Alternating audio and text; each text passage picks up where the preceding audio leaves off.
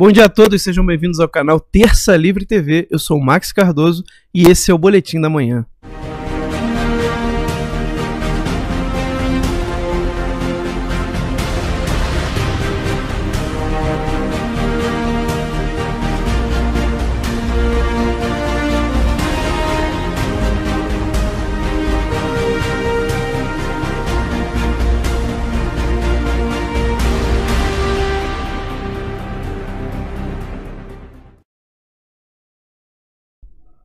Isso aí, pessoal, estamos começando mais um boletim da manhã. Hoje, nessa terça-feira, dia 18 de agosto. Como sempre, a gente pede para você dar aquele like aqui embaixo do vídeo e assim a gente sobe de relevância no YouTube. E se você não for inscrito no canal, inscreva-se no nosso canal, acione as notificações para receber aí o aviso dos novos vídeos. Além disso, Compartilhe o link dessa transmissão nas suas redes sociais. Eu acho que essa é a parte mais importante do recado que eu dou toda manhã, porque assim mais pessoas vão conhecer o canal Terça Livre TV. E nessa manhã está aqui comigo Ítalo Lorenzon e o senhor Sepúlveda. Bom dia, senhores, tudo bom? Bom dia, senhor Sepúlveda, bom dia, Max, bom dia a todos que estão nos ouvindo, muito bom estar aqui com vocês.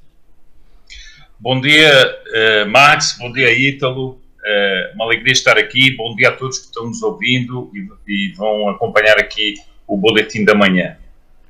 Muito bem.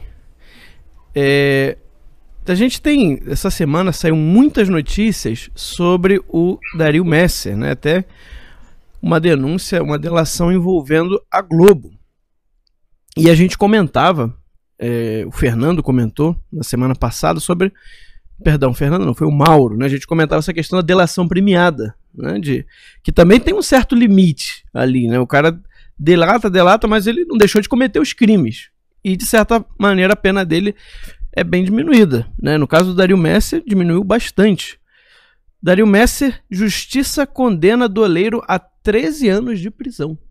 Olha aí, o doleiro dos doleiros, o cara que conseguia de, é, é devolver, devolver um bilhão de reais, como se não fosse nada, né?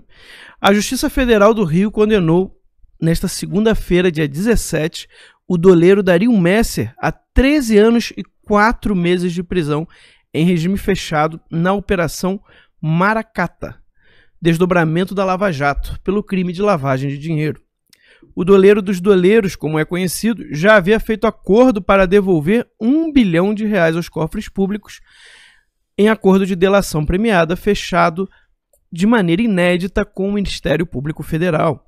Esta é a primeira vez que Dario Messer é condenado na força-tarefa da Lava Jato. No entanto, ele foi absolvido da acusação de evasão de divisas. A sentença é do juiz Alexandre Libonati, da Segunda Vara Federal Criminal do Rio. Vale salientar que o juiz não permitiu que Messer recorra em liberdade e também determinou a expedição de mandado de prisão após a pandemia da Covid-19. Messer ainda é réu em outras duas ações penais, decorrentes das operações Câmbio Desligo e Patron, que tramitam na sétima vara federal criminal do Rio. Bem, então quer dizer o seguinte, pelo que eu entendi aqui, né? Ele não pode recorrer em liberdade, que é algo bom, né? Porque normalmente é uma coisa que sempre se, se dá é. aqui no Brasil. Mas, pelo que eu tô entendendo, só vai ter um mandado de prisão depois que acaba passar a pandemia. Né? Pelo que falou aqui, ó. Determinou a expedição de mandado de prisão após a pandemia da Covid-19. Não custa perguntar assim, quando é que será isso? Pois é. É após a pandemia, você após a volta de Cristo, né? Ó, é. a, a, minha agenda de hoje até a volta de Cristo tá cheia. Tá eu, cheia. Eu vou tentar é. tipo, encaixar pra depois. Quer dizer, porra. né? Ô, ô Ítalo, eu, eu ontem disse no, no programa lá no Radar da Mídia, mas vou repetir aqui. Alguém perguntou isso Uh, os, uh, os mercados estão abrindo, os restaurantes estão abrindo, isso está abrindo, aquilo está abrindo. Enfim, e quando é que os presos que saíram por causa da pandemia vão voltar? Ou eles não voltam mais? É mais ou menos como esse aí, quer dizer. Não voltam nunca mais, eu acho. Claro. É, não, não vou voltar. É evidente que não vão voltar. Se na saidinha de dia dos pais, nego não volta. Né? Imagina o cara que já teve tempo pra, pra, se estabelecer. pra se estabilizar, né? Você, assim, eu vou, eu vou lá pro Cafundador Judas, eu vou me estabilizar aqui. O cara tá? já abriu até um comércio, né? já abriu, é, filho, o cara já, nego já deu, deu muitos pulos já, não foi um só, não. Tá doido, cara. É, filho, é assim que funciona, é, o que, que pode fazer? Né? Isso os que não saem do Brasil, né? Porque deve ter figurão que deve ter. Agora já tá no Paraguai, Bolívia, Colômbia, né? Esses aí você não vai ver a cara tão cedo. Esse aí você não vai ver a cara tão cedo, né? Quer dizer, que puta crime que fizeram, né, velho? Não, é um absurdo, cara. Né? Eu, eu, se for, eu, se fosse Paraguai, se fosse Bolívia, né? É, eu processava o Brasil, Tribunal Internacional, se pegasse aí algum, algum, algum, algum preso libertado do Brasil no, na terra dele. Cometendo crimes lá, cometendo né? crime aqui. Assim, ó, vocês aí estão cometendo. É, o cara, o cara saiu, foi libertado no Brasil, veio pro Paraguai, tá aqui comandando crime organizado, tá aqui fazendo não sei o que, não sei o que. Assim, aí não tem o que fazer, velho. Aí é. A culpa é do Brasil, pô. Sim. E, e, não, e não pode, a gente não vai poder nem falar nada, né? Fazer só o meia-culpa mesmo. Fazer só o meia-culpa mesmo, que é, que é o que nos cabe nesse momento. É. Bem, é, eu gosto sempre quando tem essas mega operações da, da Polícia Federal, porque é sempre notícia boa, né? Uhum. Botar, botar bandido na cadeia, a não ser que tenha que sair por causa da pandemia também, né? É, é sempre bom. É, PF cumpre mais de 150 mandados em 12 estados e no DF em operação contra tráfico de drogas. O tráfico de drogas, rapaz, está tendo tanto prejuízo, né? Graças a Deus. A Polícia Federal realiza na manhã desta terça-feira, dia 18, uma mega operação contra o tráfico internacional de drogas, né? Provavelmente isso deve ser o mercado mais rentável do mundo, né? O tráfico internacional de drogas. A gente está falando aqui de uma coisa que movimenta uma indústria, né? Praticamente uma indústria que movimenta aí nível de trilhões de dólares em 12 estados e no Distrito Federal, né, a operação da PF hoje. São cumpridos 139 mandados de busca e apreensão e 50 mandados de prisão, 20 de prisões preventivas e 30 de prisões temporárias. São Paulo concentra a maior parte dos mandados, sendo 22 de prisão e 60 de busca e apreensão. Até às 8 horas da manhã de hoje, duas pessoas tinham sido presas na capital paulista e uma no interior. No estado de São Paulo, o objetivo central da operação é a prisão do traficante Caio Bernascone Braga, conhecido como Alemão. Procurado desde 2019, o traficante se identifica como agente comercial e usa o nome falso de William Alexandre Céspedes Prieto. Ele estaria ligado à quadrilha chefiada por Sérgio de Arruda Quintiliano Neto, o Minotauro, preso no ano passado em Camboriú. Olha aí. É. Mega operação. A operação da Polícia Federal Hollywoodiana. Aí. É, é. é melhor do que uma corrupção hollywoodiana, né? É, exatamente. Eu prefiro uma polícia hollywoodiana, né? A gente vai comentar sobre essa fala absurda do Demetrio Maioli aqui. Gente do céu, que, que, que, o que, que virou esse homem, né? O Demetrio ele até, ele até era tragável uns anos atrás. É, né? Eu lembro, eu lembro da defesa, o debate que ele teve com o Boulos, né? Ele explicando, né, sobre. É, é, é, bom, dando uma aula pro Boulos de muita coisa, né? É, é, explicando para ele o que estava sendo falado sobre o impeachment da Dilma, que, que o rito que estava sendo usado para fazer o impeachment, para fazer o processo de impeachment, era o rito que cabia mesmo né? Era, era, um rito que, que, que cabia é, explicando o que, que era inflação. Ele explicando pro Boulos o que, que é inflação. É um negócio assim. o que é juros? Né? Nossa. Deixa eu explicar o que é juros para você. Juros é o preço do dinheiro. Isso é, é, assim, isso é aula de economia 101, é, é, um, né? Então, assim, isso é aula 1 um de economia. Aula 1 um de economia. É. O, o, Max, eu, eu, eu queria só é, voltar aqui à operação, porque me parece o seguinte, como você disse, a operação hollywoodiana, mas nós estamos vendo mega operações no Brasil de apreensões de drogas. Ora, isso vai financiar muita gente, né?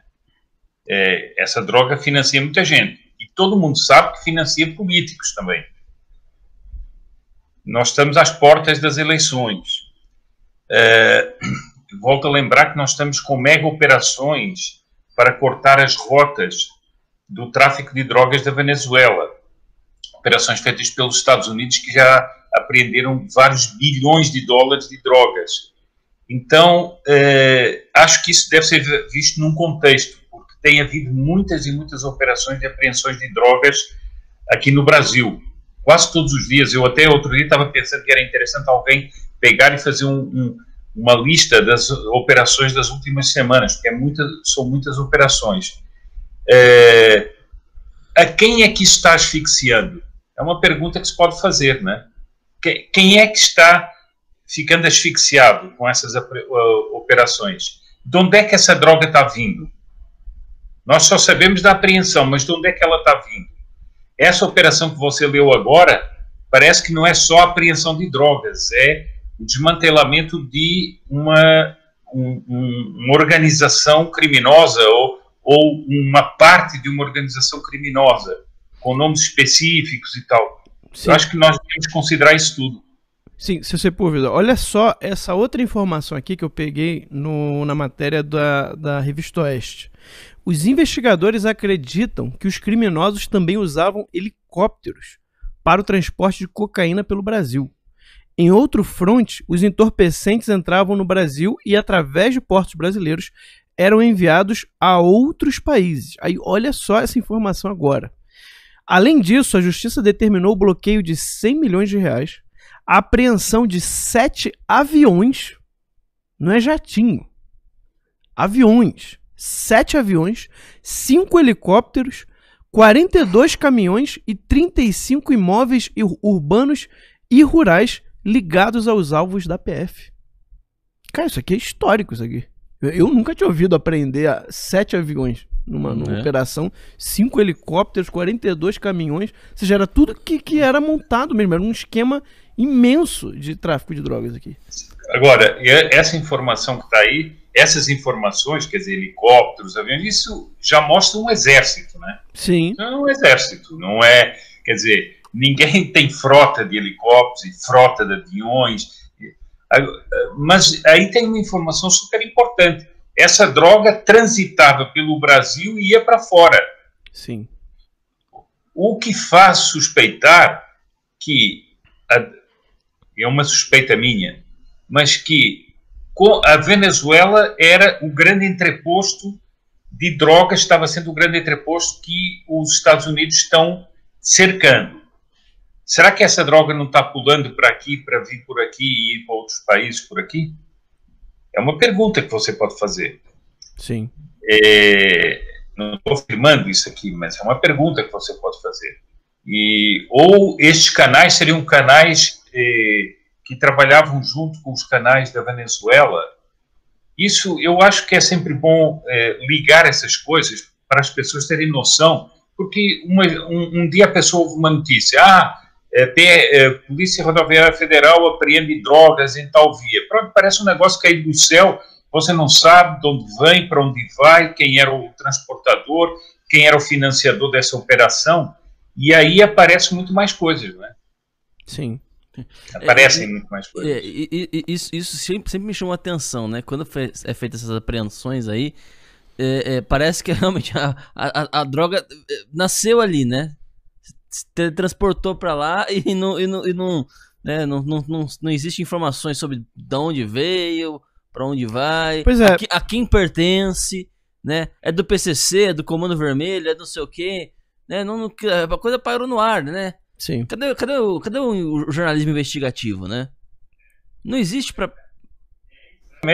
Muito bem perguntado. É. Muito bem perguntado. Será que ninguém se interessa por saber disso, né? Exato. Pra você ter uma ideia, no Terça Livre, no, no, no portal Terça Livre, uma, um conjunto de notícias é, é, feitas pelo Roveran foi a base daquilo que começou a derrubar a, a, o Evo Morales da Bolívia. Foi. Isso, eu, eu, o que eu tô falando não é exagero, tá, gente? Uma das razões pela qual o Alan não vai pra Bolívia é porque ele vai, vai ser morto se ele chegar lá. O Alan, o Roveran, eu acho até que nós aqui. Ah, com certeza. Com certeza, né? Porque o, o, o Roveran, só pra explicar pra vocês rapidinho, né, em termos gerais, né, o Roveran, ele achou uma rota de tráfico e ele foi desencavando, desencavando. A hora que ele desencavou, né, é, começou, começou a publicar algumas, algumas, algumas matérias, o pessoal do, de uma operação da polícia lá da Bolívia percebeu isso aí Falei assim, bom, aqui na Bolívia ninguém quer publicar as informações, mas lá no Brasil eles publicam. Eles estão interessados nisso. Começaram a mandar as coisas pro Roveran. Aí o Roveran começou a jogar a merda do ventilador. A hora que isso aí começou a criar uma proporção, o pessoal da Bolívia começou a assistir, a, a, a, acessar o Terça Livre para entender o que tá acontecendo. Foi. Chegou um ponto que os, o líder da, da oposição boliviano pegou e falou assim: ó, isso aqui saiu na revista Terça Livre, uma revista, né, não sei o que, no, no, no, Brasil. O pessoal que fez o curso do Povo no Poder tem lá o vídeo, né? Ah, Tinha sim. lá o vídeo. É, não, aqui, aqui também tem. Você bota aqui, Terça Livre Bolívia. Vai ver a foto, do, no, a imagem do cara, o, é, um, é um videozinho curtinho. Ele fala assim: é isso aqui, ó, saiu, mostrando né, os, os a, revista. A, a, revista, mostrando é, a impressão, a né, a matéria. Né? E, e isso aí começou todo um rebuliço que culminou na queda do, do, do, Evo Morales. E foi um detalhe que o Roveran percebeu, que até então ninguém tinha percebido. Um vídeo, né? Porque lá os ju juízes são eleitos também, né? O uhum. pessoal do, do, Supremo. Uma juíza que ela estava fazendo a, a campanha dela e aí ela gravou um vídeo, né? Exato. E aí o Roveran olhou e eu não sei se ele já. Eu acho que ele já tinha é, é, visto a casa lá do, do traficante, né? Um, uhum. Esqueci o nome dele né, do, do, um dos maiores traficantes que tinha naquela época. E aí ele percebeu que a juíza estava gravando o vídeo dentro da casa do traficante. É. Né? Aí ele mandou isso para lá. Aí foi quando eles começaram a mandar coisa para eles para ele publicar. E a partir da, da, da, da reportagem dele, é, foi, foi desmantelando, desmantelando, desmantelando até chegar no próprio Evo Morales. Pois é. Não, e você vê, né? O que, que foi isso aí, né? né o Roverão vai me perdoar, mas quem é Roverã na fila do pão, né?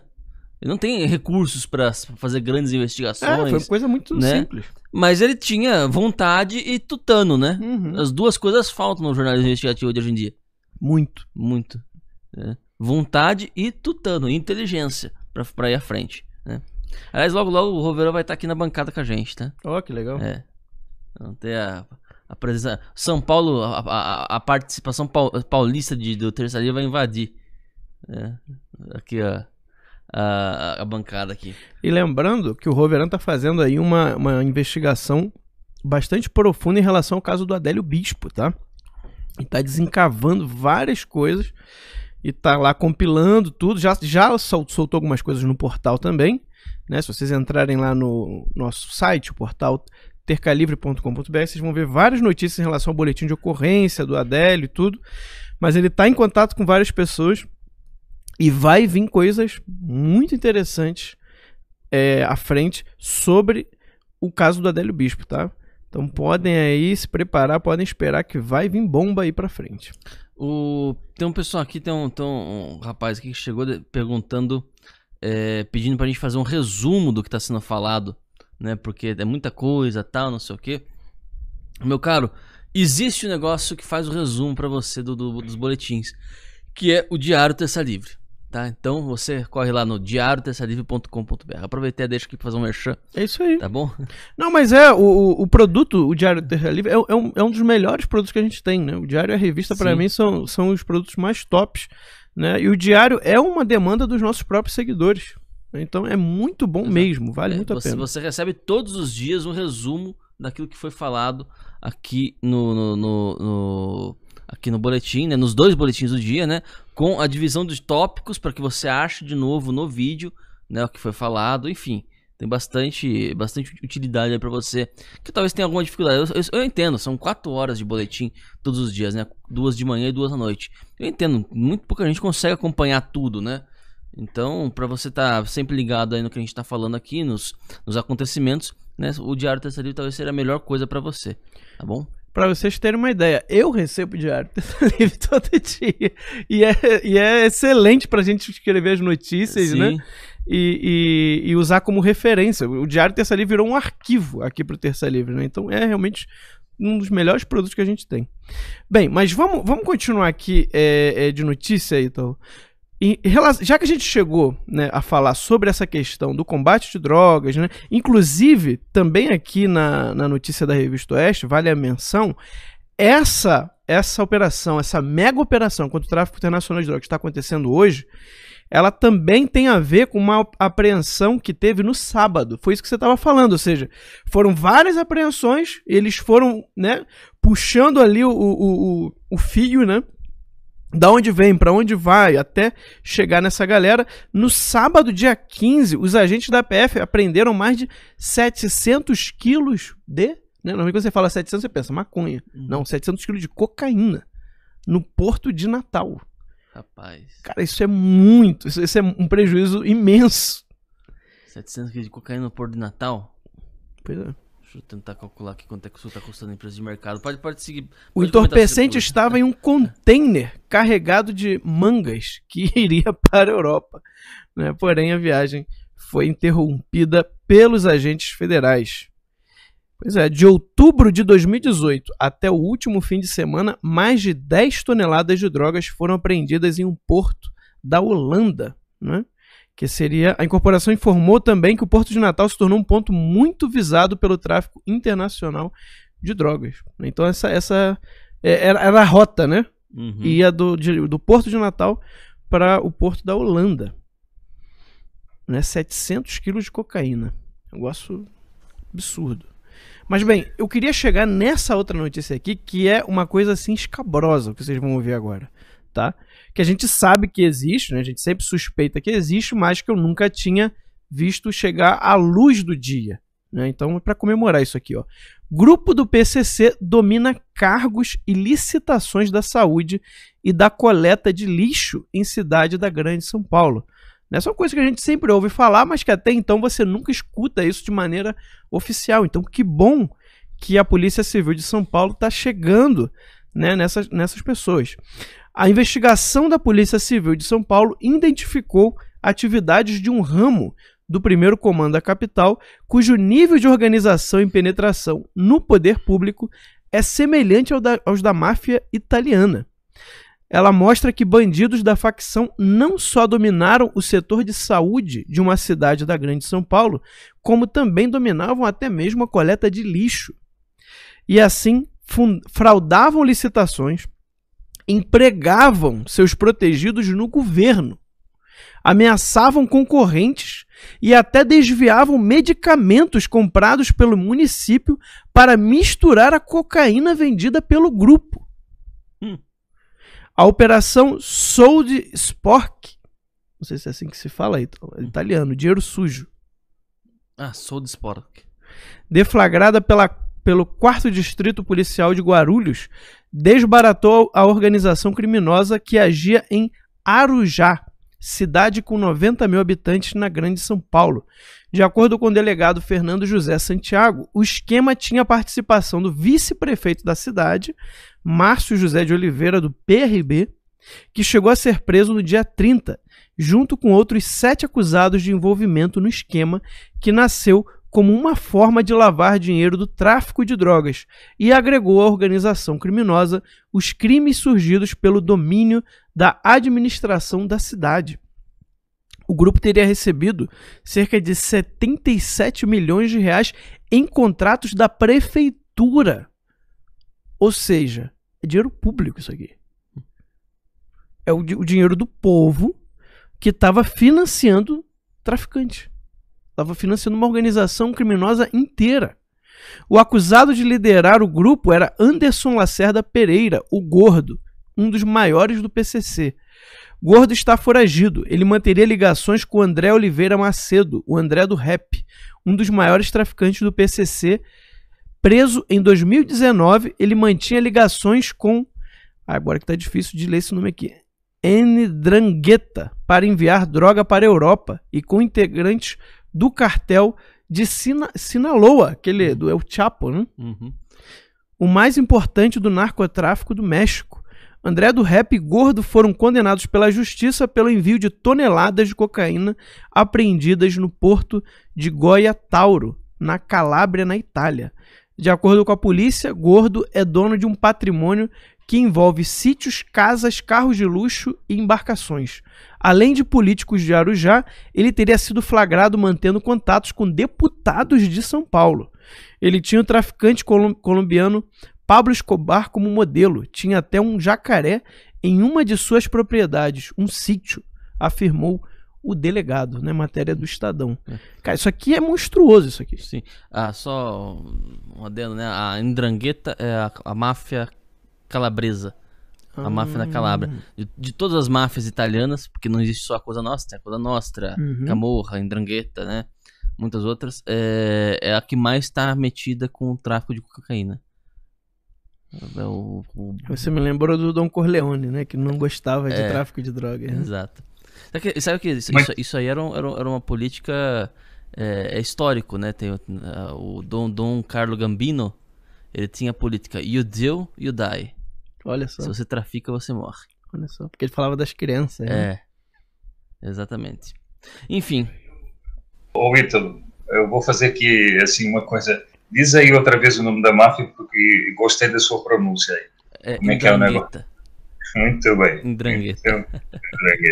e isso aqui é, é, grego, né? Não é? Ah, é, que eu achei, eu achei estranho Exato. esse nome. Na Calabria ainda existem, a gente tá divergindo, é, saindo do tema aqui, mas na Calabria ainda existem é, cidades que falam é, dialetos do grego.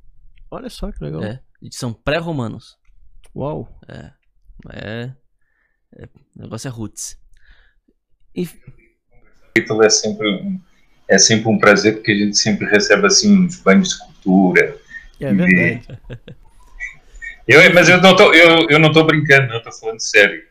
E, e por isso acho que é interessante assim, no, no boletim da manhã assim uma conversinha assim, porque você acaba acaba se enriquecendo. Você vê que até o mundo do crime tem alguma história na Europa.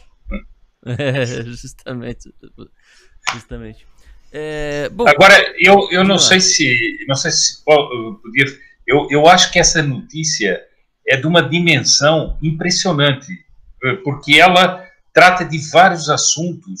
Portanto, você fala de tráfico internacional de drogas, com grandes organizações criminosas, eh, cartel de Sinaloa, Indrangheta, enfim, você vê que nós temos, estamos, eh, essas operações aqui dentro se conectam com grandes organizações criminosas pelo mundo. Isso tudo é possibilitado pelos esquemas que nós vimos durante anos de PSDB e PT sendo, eh, sendo é, é, cúmplices e, e, e, e complacentes com o crime. Mas eu digo mais: nós temos aí uma clara ligação entre o PCC e a política fala de deputados de São Paulo, fala de uma prefeitura, fala de. Queria lembrar uma coisa aqui: coleta do lixo. Lembram-se das máfias da coleta do lixo e do PT? Por exemplo, de Ribeirão Preto? Sim. A, a máfia da coleta do lixo era um dos esquemas do PT. Portanto, vejam como essas coisas andam muito ligadas. Né? PCC, PT e essa, esses esquemas todos. Então, nós temos uma organização criminosa com ligações com cri organizações criminosas internacionais operando na política dessa maneira. Eu acho isso de uma dimensão assim impressionante, não é? Para nós vermos que quando se está combatendo o crime organizado e quando nós vemos o, o, decisões que estão sendo tomadas sobre o crime, inclusive por altos juízes, em que, em que em que mundo nós estamos eh, tocando, em que realidade nós estamos tocando. Eu queria lembrar aqui o livro do Leonardo Coutinho que fala o esquema do esquema do, do Chaves com narcotráfico, terrorismo, etc., para se manter no poder internacionalmente. Perfeito, José Puder. É, e, e, assim, você veja, uma cidade Arujá, né?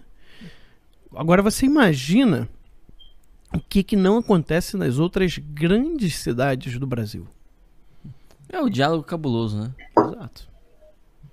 Até onde vai né, é, é, é essa relação narcotráfico e política no Brasil? Até onde chega isso? O que, que o, o, o que, que funciona na política brasileira relacionado a o, o tráfico, ao tráfico de drogas. O que que tá, qual é a relação ali de lavagem de dinheiro, de tráfico, né, de gente ganhando dinheiro com essas organizações criminosas? Porque você normalmente, normalmente, né, o que que acontece? O que, o que acontece no micro, né, o que acontece num lugar muito pequenininho, né, é o que acontece num lugar grande, só que com a proporção maior. Né? Geralmente, quando tem um, um, vício num lugar pequeno, ele é um reflexo de um vício muito maior num lugar, muito, num lugar grande. Né? Então, se em Arujá você tinha aí quase 77 milhões de reais de licitações da prefeitura, tá? irrigando o narcotráfico, irrigando organizações criminosas, você imagina o que, que não tem, quanto, né? qual é o montante de licitações de prefeituras e governos estaduais irrigando organizações criminosas dos, das grandes cidades do Brasil. Né? Isso é uma coisa, meus caros, que eu gostaria de, de, de ver a polícia chegar lá. Tá? Eu queria ver é, é, é, realmente ali, ali é o câncer do Brasil. Isso aqui, isso aqui é só uma pontinha do iceberg, isso aqui que a gente falou agora. Tá? Vocês podem ter certeza que isso é só uma pequena amostra do que acontece em grandes cidades do Brasil inteiro. Né? Será que algum dia a gente vai conseguir ver a polícia chegando lá? Porque há muita gente interessada que isso nunca seja descoberto. Infelizmente. Justamente. Bem, então vamos pro, pro comercial, Ítalo. A gente já até passou aqui do, dos 30 minutos, né? Então daqui a pouquinho a gente volta com o nosso segundo bloco, tá, pessoal? É um minutinho só. Sai daí não.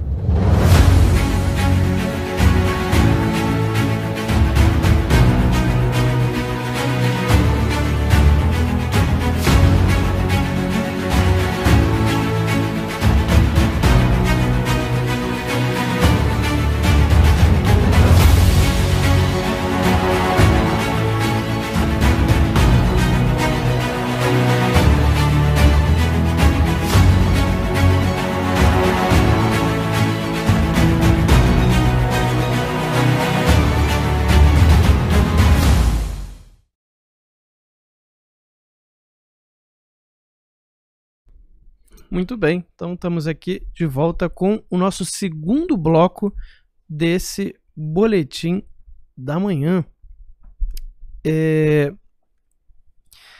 A gente tem, tem falado muito sobre a questão da privatização de empresas estatais. Né? Existem empresas estatais que são verdadeiros peso morto, né? são pesos mortos que o Brasil tem carregando, vem carregando já há décadas, inclusive.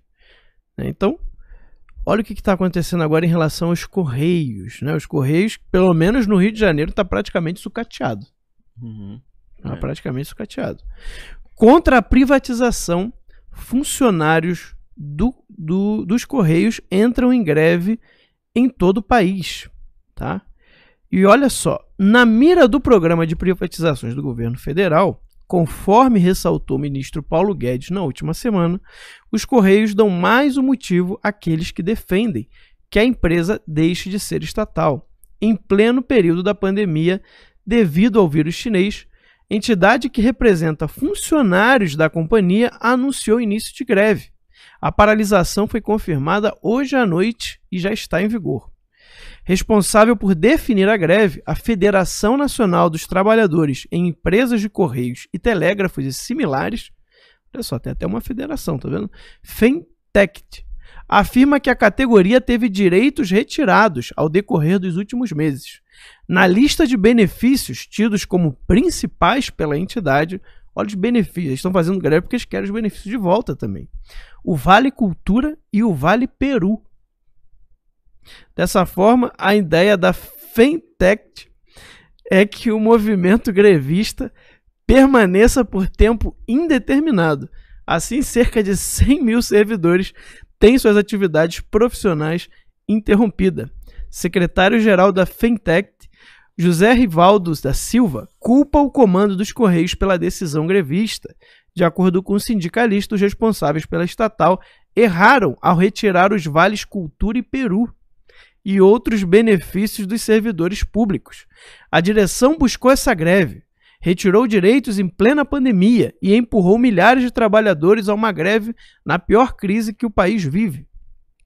Bem, aqui é, é bastante contraditório, porque se você está em crise, é normal que você vai cortar né, coisas.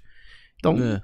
né, se, se não tem cinema, é. não tem teatro, então tira o Vale Cultura, né? É. Agora, vocês me desculpem, para muitos pode parecer óbvio, mas para mim não é. Em que consiste o Vale Peru? É peru animal ou é peru país? É, eu, acho que é o animal. É o né? animal, né? Bom, não. Deve ser. Deve desculpa, ser... não, você me desculpa. Não é ter um, ter um vale peru, eu sou obrigado a, per a perguntar do que se trata. né? É, é... Cumpre perguntar, por que peru especificamente?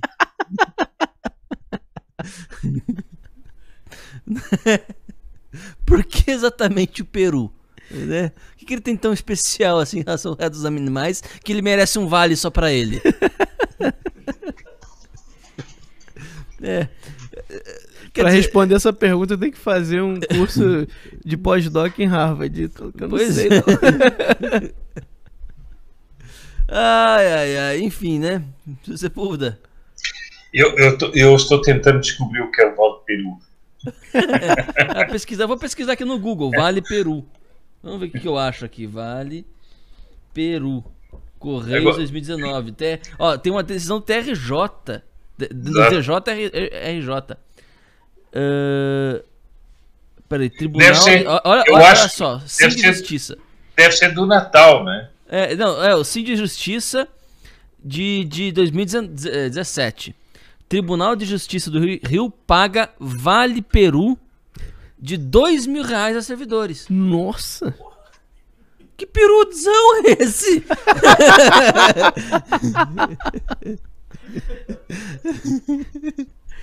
dois mil dois reais? Dois mil reais, que tremendo de, de um peru. O Tribunal de Justiça decidiu manter nesse ano o bônus de Natal. Ah, agora eu entendi por que, que é chamado de. É porque é um bônus de Natal, não é para comprar um raio do peru. ah, é o apelido do negócio. Pois é. Mas eles querem o Vale Peru, mesmo na pandemia. Né? Dois mil reais pra cada um. É. E com correio sucateado, né? Um correio sucateado. É, não sei quanto, o quanto, é o vale, quanto deve ser o Vale Peru. É que você tá falando do, do Tribunal de Justiça do Rio, né? Não sei quanto é o, quanto é o, o, o Vale Peru dos, dos funcionários do Correio especificamente, né? Mas não deve ser muito barato também não. Quer dizer, além de 13 terceiro, além de toda né, tem o teu vale peru. É pago com o teu dinheiro, viu? É, é isso Você aí. tá assistindo, é, é, é, o teu dinheiro que tá nessa brincadeira aqui. É isso aí. Aí estão fazendo greve por causa que perderam os benefícios. Exato. Foram empurrados para a greve. É de cortar o coração, né? É. Agora, ah, agora é que a gente pode privatizar mesmo, né? É, agora privatiza mesmo. Aí você vai ver o vale peru que vocês vão tomar. Vamos ver o, vai, o, o, o piruzão que vai tomar esse vale peru aí que você vai ver só. tomar banho, viu? Se você puder, aumente o nível, por favor. Olha, é, acontece o seguinte, eu, o que eu fico impressionado com tudo isso é o seguinte, eu vi agora uma, eu vi agora uma uma pessoa que pôs uma brincadeira. Os Correios estão em greve desde que foram criados. Né? Mas, mas o, o que é fato é o seguinte: não podemos esquecer que os Correios foram da, uma das máquinas de operação do PT no caso do mensalão. Exato. Ou seja, essa gente toda que está interessada em não privatizar, está interessada em não privatizar por quê? Porque sabem que são os esquemas onde é que estão os esquemas que funcionam para eles. É, quem leu, leu a carta do Salim Matar quando saiu, ele diz claramente que ele sempre teve apoio do Bolsonaro e do Paulo Guedes, mas que o establishment político não quer as privatizações porque o, as, é, as, as empresas estatais são uma das, das fontes fundamentais para todos esses esquemas políticos, político-criminosos, né? E, e nós vemos que todas essas reações às privatizações são por causa disso. Então os Correios ficam nessa história toda, nesses dramas, vale peru, vale isso, vale aquilo, mas na verdade o que está por trás é esconder uh, o, o, o problema fundamental. Essas empresas todas são esquemas, fazem parte de esquemas. E a grande resistência que se vê no Congresso, que se vê em outros lugares, se vê do establishment todo, é por causa disso. Lembrem-se que houve até decisões do Supremo proibindo privatizações. Quer dizer, há, há, há, nós estamos diante de mais um aspecto dessa imensa máquina que foi montada. Eu, o que me fica, o que me impressiona muito, Max Ito, é o seguinte: quando você vai ver notícias como essa do PCC, depois do tráfico de drogas, depois essa dos Correios, você vê o seguinte: o sistema que domina o Brasil é uma imensa máquina de oligarquias que tomou conta do Estado para pilhar o Estado e pôr o Estado a seu serviço. E a população é inimiga. Perfeitamente. Perfeitamente. A população é inimiga, realmente. Sim. Bem, é, tem muita especulação né, sobre Bolsonaro querer substituir Paulo Guedes. Né? Isso aí a gente já tem ouvido já há algum tempo. Então, quando vai ficando forte o boato, Bolsonaro vem para desmenti-lo. Então, Bolsonaro, né, uma fala dele foi a seguinte: chegamos juntos e sairemos juntos. Né? O presidente Jair Bolsonaro desmentiu especulações da imprensa de que estaria prestes a substituir o ministro da Economia, Paulo Guedes. A declaração foi feita pelo presidente em entrevista à CNN ontem, no dia 17. A mesma emissora que na sexta-feira passada especulou um racha entre Bolsonaro e Guedes, utilizando-se inclusive das imagens do pronunciamento de Bolsonaro, Rodrigo Maia e Davi Alcolumbre para embasar suas afirmações. A âncora de um programa noturno chegou a afirmar que as imagens diziam muito da insatisfação do presidente com Guedes, já que no momento dos cumprimentos os dois não teriam dado as mãos e o presidente se retirou sem falar com Guedes.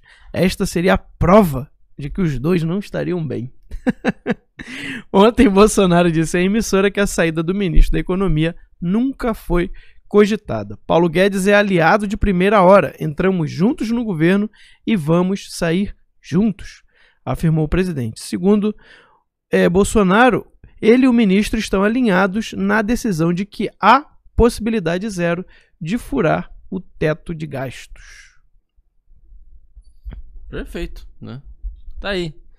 Posto na cama esse esse esse boato, né?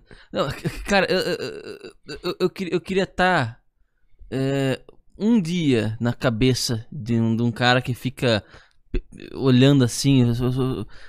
Não, ele não deu a mão. Ele não. Ele não falou. Não falou, né? Ele, na hora do pronunciamento, ele tá com a cara fechada. Entendeu?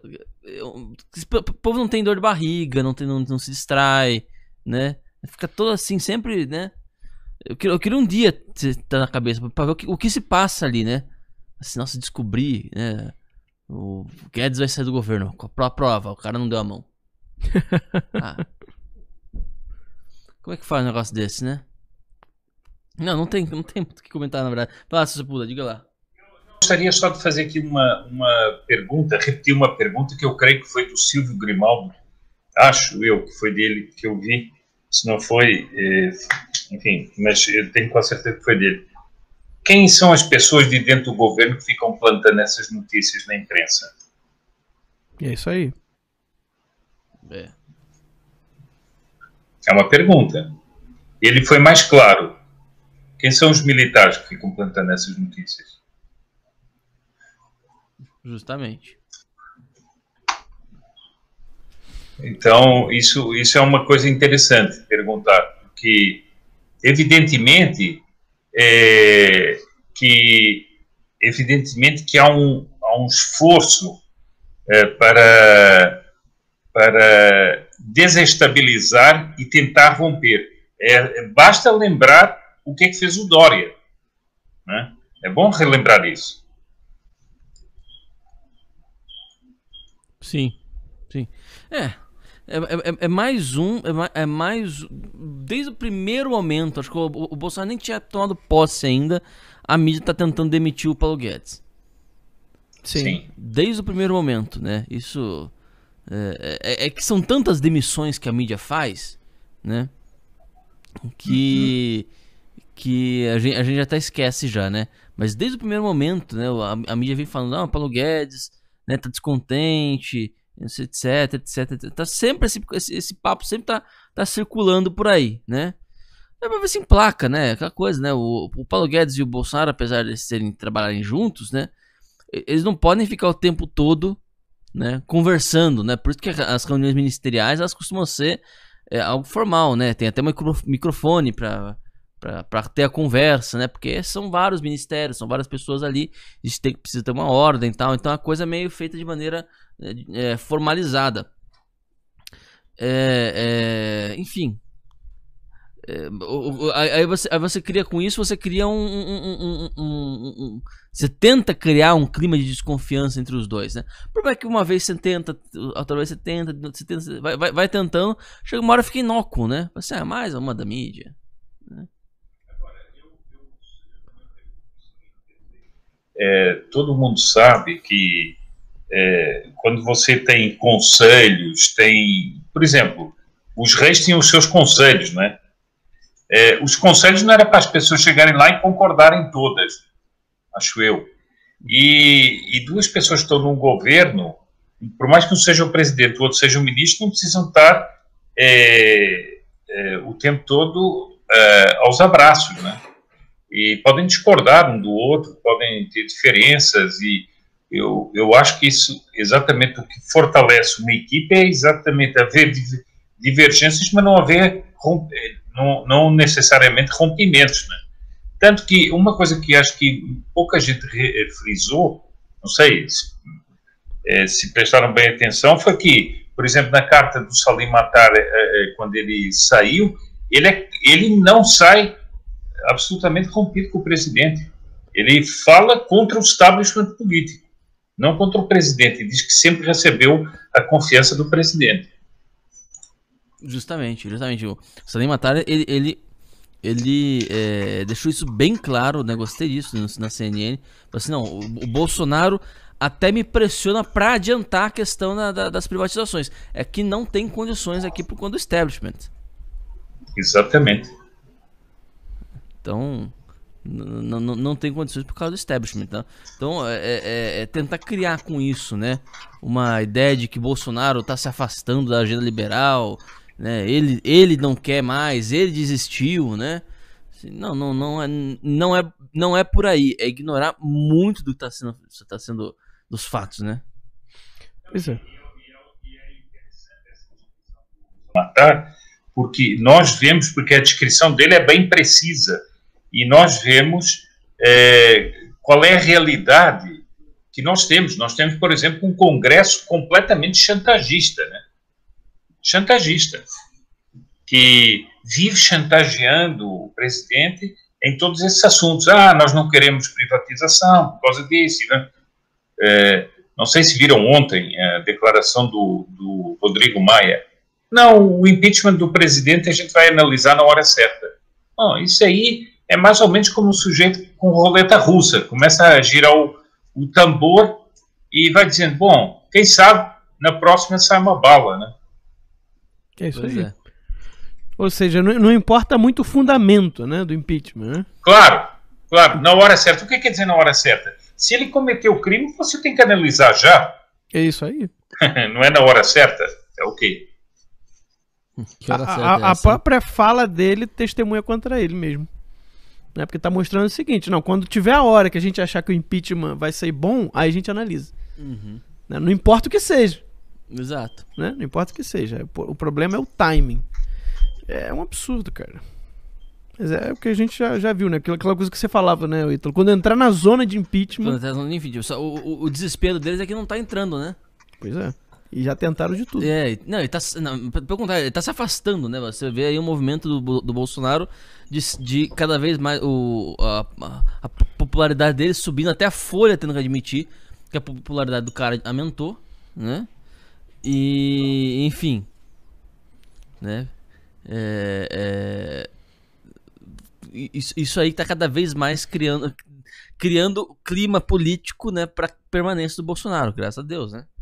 Sim. Agora tem uma notícia aqui que a gente vinha falando, né? Eu comentava aqui também alguns boletins já há alguns meses o seguinte, olha, quando começar, quando começou esse negócio do auxílio, eu falei, vai ser difícil fazer esse auxílio parar. É. Porque quando você começa a dar alguma coisa, né, você começa a dar algum benefício, para você retirar o benefício, por mais que ele seja um auxílio emergencial, né, por causa do, do lockdown, por causa do isolamento social, mas como é que você vai tirar depois? Então, agora, olha essa notícia. Governo estuda prorrogar auxílio emergencial até 2021.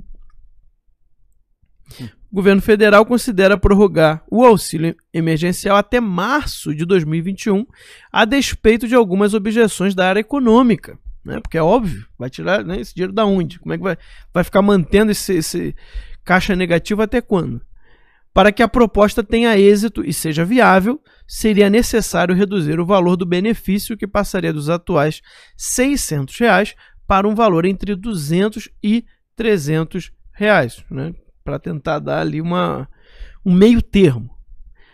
Outro ponto em análise é a renovação do decreto de calamidade pública. Para que o auxílio seja prorrogado até março, o decreto precisará ser renovado na Câmara dos Deputados e no Senado Federal. A validade do decreto precisa ser estendida para que o governo não cometa crime de responsabilidade ao não atender o teto de gastos e a lei de responsabilidade fiscal. Notícia da, do Crítica Nacional, inclusive. Bom, vamos só explicar então o que, que, que, temos aí, né? Para você manter o auxílio emergencial, você precisa manter o estado de calamidade. Para você entrar com o estado de calamidade, é preciso que o, que o decreto seja renovado pelo presidente, ele peça a renovação e o Senado e, o, e a Câmara dos Deputados aprovem, né? Esse ponto até, até, até por mais, mais eu discordo da política em si, né? É, o, o Congresso ele não tem, ele não aparece nessa, nessa questão como um, um propositor da, do orçamento emergencial. Ele aparece mais como um, um, um, ele pode negar ou não, né, a continuidade. Ficou claro isso, Max? Sim. Então, assim, é, é, dentro dessa, dessa estrutura, né? Eu não sei, sinceramente, se, se, esse, teto, se esse auxílio vai continuar, né? Talvez, talvez até continue com bem mais reduzido. É, indo pela né? metade, né? É. No mínimo. Exatamente. É, eu, eu acho que vai, viu? Eu acho difícil, e ainda mais que a oposição vai fazer pressão para isso aqui. Por quê? Porque, primeiro. Eu, eu, eu, acho que. Eu vou dizer por que eu acho que não. Porque a oposição já percebeu que quem tá tomando os louros é o Bolsonaro. É, pode ser. e, e, e, sinceramente, por mais que eu seja contra conta, não, não digo, mas que você seja desconfiado de políticas de, desse tipo, na boa, tá sendo uma delícia ver o Bolsonaro tirar o pirulito da boca do Lula no Nordeste, cara. Isso sim. tá sendo uma delícia, tá?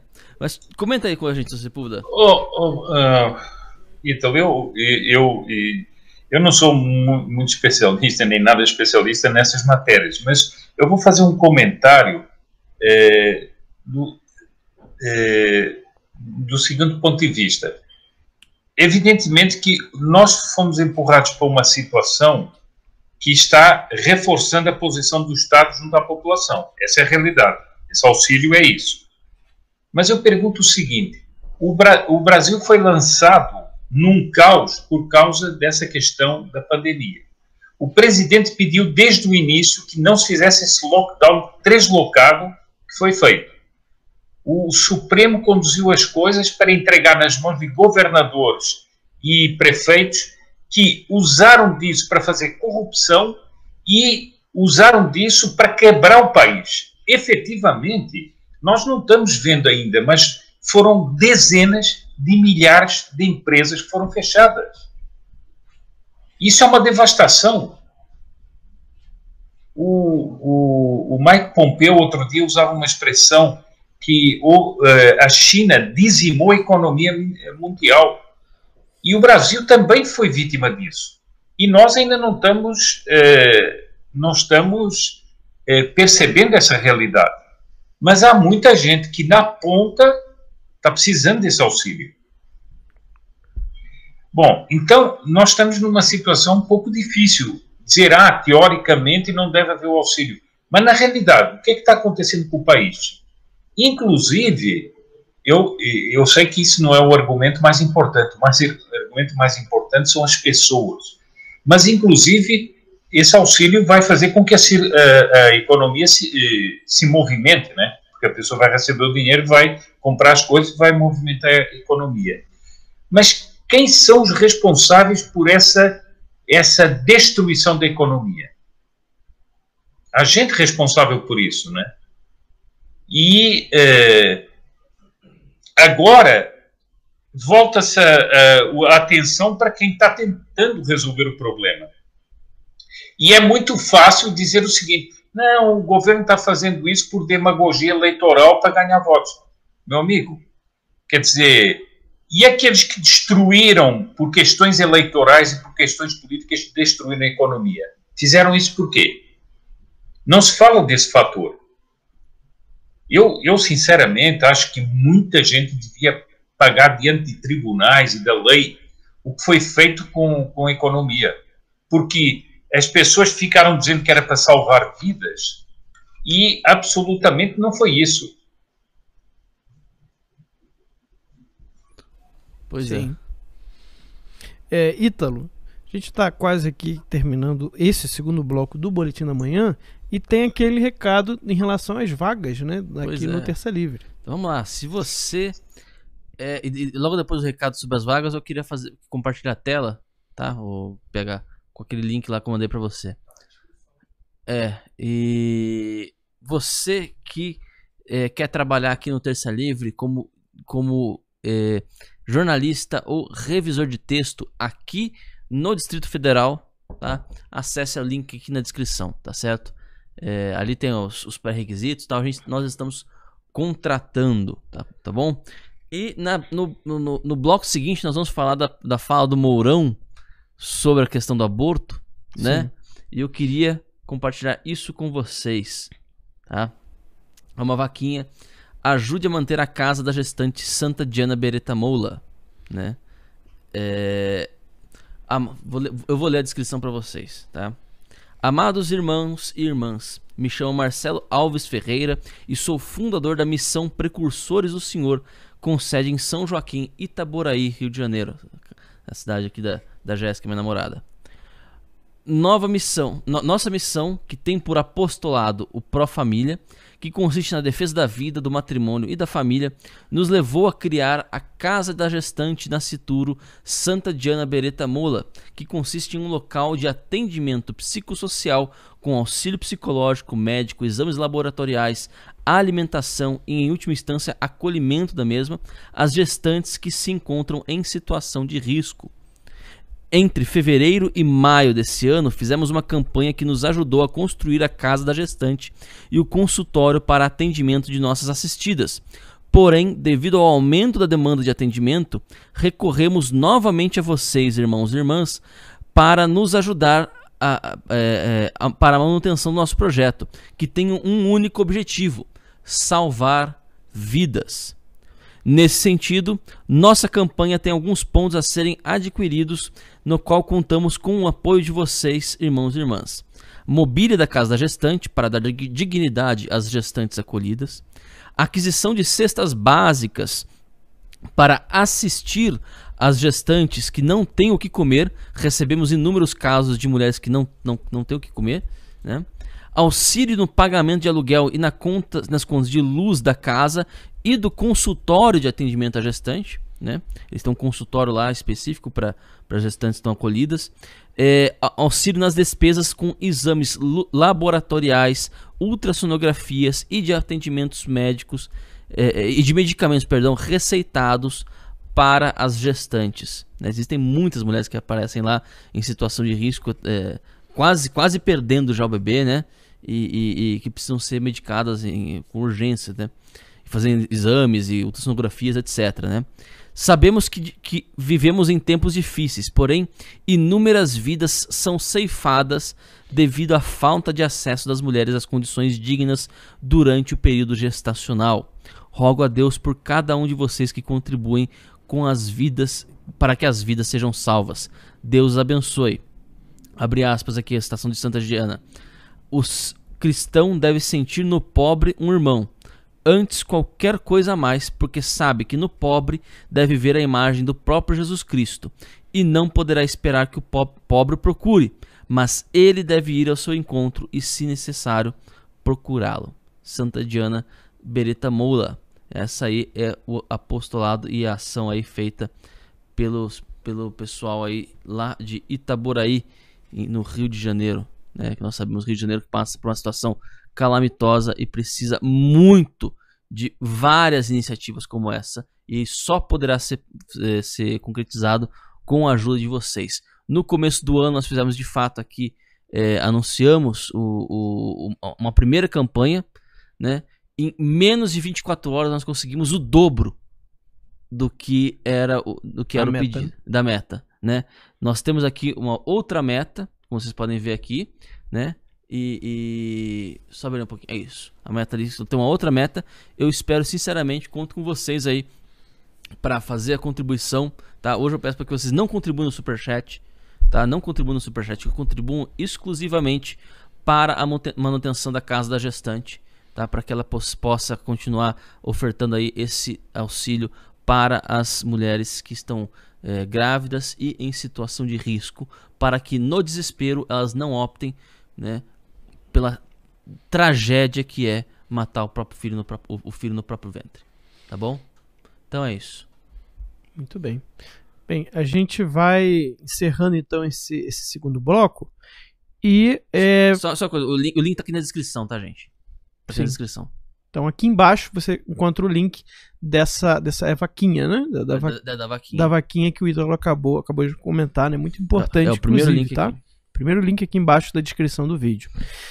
É, e a gente vai ter o Alan daqui a pouco? Tá é, confirmado? Ele, provavelmente sim. Mas ele não, ele não, vai entrar logo, logo no começo do próximo, próximo bloco.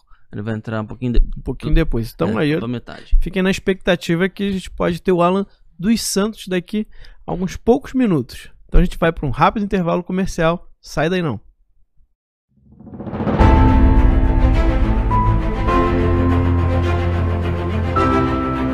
O Terça Livre vive das vendas dos produtos que tem revista, diário, livro, caneca. Tá, diarioterceiralivre.com.br. Lá você vai ter todos os nossos programas em menos de 24 horas, todos sistematizados por eixos temáticos e com horário, onde a gente comenta cada um desses, desses assuntos, né?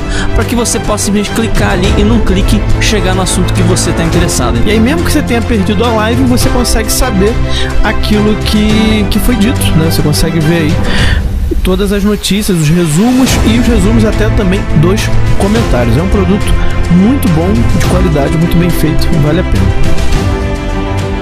Então, diariotecalivre.com.br, tá? É isso aí, pessoal. Então, vamos lá, Max.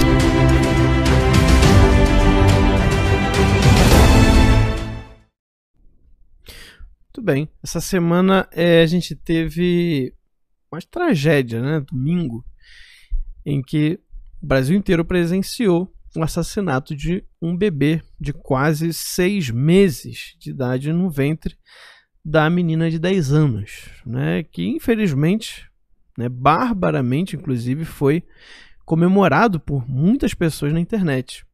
É algo lamentável, no mínimo lamentável. E o presidente da CNBB, o Dom Valmor, né, lamenta o aborto de criança da criança é, de 10 anos, né? E considera o fato como crime hediondo, tá? O presidente da Conferência Nacional dos Bispos do Brasil, Dom Valmor Oliveira de Azevedo, publicou uma mensagem nesta segunda-feira, dia 17, classificando, e aí agora vejam a malícia dessa notícia do G1, a interrupção da gravidez da menina de 10 anos, né? O que, que ele quer dizer? Isso é para não dizer né, o assassinato de um bebê de quase seis meses na barriga da menina de 10 anos, né, em que você coloca, injeta né, uma solução salina no coração do bebê ele vai queimando o bebê por dentro né, e levando à morte né, do, do bebê. Né? Mas a, o G1 não vai falar disso. Né? Então ele, em vez ele nem usa a palavra mais aborto, ele fala interrupção da gravidez. Né? Parece que é algo é, é, é, né, que você toma um remedinho, né? Você tá. É, deixa eu só explicar uma coisa, G1. Interrupção da gravidez chama-se parto. Tá? Qualquer coisa diferente disso é assassinato. Né? Ainda mais, ainda mais, não que isso seja um, um, um, princípio absoluto, né? Mas ainda mais num caso como esse, né? Em que poderia simplesmente ter retirado o bebê. Sim. Né? Fez-se questão, né? O, o, o, o fato de terem matado o, o bebê dentro da, da barriga da mãe foi uma questão geográfica apenas. Né? Porque poderia se muito bem, muito bem ter tirado o bebê, Sim. né? colocado ele numa incubadora e, e aí você vai lá e aplica uma, aplica uma injeção salina. Isso não é assassinato? Né? O que, que o que, por que, que fazer dentro da barriga da mãe, fora da barriga da mãe, o mesmo bebê, na mesma, no, no mesmo, mesmo grau de desenvolvimento, é diferente? Né? Quer dizer, as pessoas perderam, perderam noção do, do, do, que está acontecendo na realidade. Sabe? Eu faço questão, chame a pessoa da realidade e falo assim: ah, interrupção de bebê. Não, não, não houve interrupção eh, de, de gravidez. Não houve interrupção. O que houve foi que pegaram um bebê já com seis meses viável, viável, fiz, que, que já sente dor e fizeram questão de matá-lo. Isso aí. Não há absolutamente nenhum tipo de argumento válido sobre qualquer outra qualquer perspectiva é, é, é psicológica ou, ou, ou, ou é, é, de saúde, né? De, de saúde, saúde, por exemplo. corporal né, da, da menina. Entendeu? Ela já chegou ao sexto mês, você não retroage. Né? Uma vez no sexto mês, né, você vai fazer uma intervenção mais radical ainda. Né? Alguém me convença por que, que uma cesariana é mais, é, seria, seria mais prejudicial do que você fazer, primeiro, uma inserção de um líquido venenoso no, no vento da, da menina e depois fazer uma operação completamente análoga à cesariana para tirar um cadáver lá de dentro. Por que, que tirar o cadáver é menos prejudicial do que tirar o, o bebê vivo? Qual que é a lógica disso? Né? Eu gostaria muito, né? Tudo bem, vem aqui alguém, alguém que defenda essa, essa, essa, essa barbaridade. Vem aqui me dá um argumento válido a respeito disso. Ah, porque o médico falou, teve uma equipe de médicos que recusou. O outro médico é um militante. Que já fez outros abortos em situação semelhante. É um assassino. É um assassino. É um assassino de bebê. É. É, é, é, inconcebível, porque fizeram questão de matar o bebê. Que país que a gente vive? Eu, eu, eu participo da inconformidade de vocês dois porque há o seguinte: parece que há uma espécie de senha que é preciso matar essa criança. O, o, o pretexto é qualquer um. O, o, o Ítalo disse muito bem, aliás, eu faço aqui um parênteses. É, é preciso não esquecer que os, os que promovem o aborto usam essa essa malandragem linguística que é a IVG, não é o aborto, é interrupção voluntária da gravidez. Bom, primeiro, resta saber o que é voluntário aí nessa menina, né? com essa pressão toda. Mas, se você pode fazer uma cesariana, a criança é viável, e, e, já havia pessoas que se tinham proposto a adotar a criança, e, portanto, a menina não teria esse é, enfim, esse peso psicológico de ter que criar uma criança, ela tão novinha, depois de ter sido estuprada, portanto, ela não teria esse, esse peso sobre ela. Qual era a necessidade de matar? Qual era a necessidade de fazer o aborto? Qual? É uma espécie de senha, era preciso. Não, tem que fazer o aborto, tem que fazer o aborto, tem que fazer o aborto. Por quê? E eu eh, eh, não sei, eu sei não sei se estou eh, atropelando aqui um pouco o comentário, mas tem uma coisa. É, além do, do que o Ítalo disse, que é a questão é, de inocular um, um, um veneno, depois fazer uma operação para tirar a criança, o cadáver dentro da criança, há um, há um problema que ninguém está falando também. É o trauma do aborto que dá para a mãe. Esse trauma ficará nessa menina para sempre. Ficará. Quer dizer, ela ficou grávida e depois ficou, de ficar grávida, ela não viu a própria criança que foi morta. Quer dizer, é uma coisa em cima da outra. Mas você vê que é uma espécie de ritual. Era preciso matar a criança. Pois é. Não, é, não faz sentido. Você, ela já sofreu um trauma do estupro, agora ela vai sofrer o trauma do aborto. Do aborto, exatamente. Trauma em cima de trauma. É, a solução é cada vez pior do que, do que o. Você, em vez de dar uma solução melhor, não, você vai só piorando a situação. Mas tá aqui, ó, na mensagem Agora, do. Eu, o, o, o, Max, eu, eu gostaria só de fazer uma pergunta, que é uma coisa que, que me é, que está na minha cabeça. Essa criança estava, essa criança tinha sido abusada, não sei quantas vezes, né, e estava grávida. Só que a gravidez dela já era quase de seis meses. Portanto, não foi uma gravidez que foi descoberta agora. Mas quanto uma gravidez foi descoberta com um mês, uma coisa assim. Por que que de repente esse caso veio a público? Assim, nos seis meses. Por quê? Havia uma intenção, parece que havia uma intenção de criar uma comoção.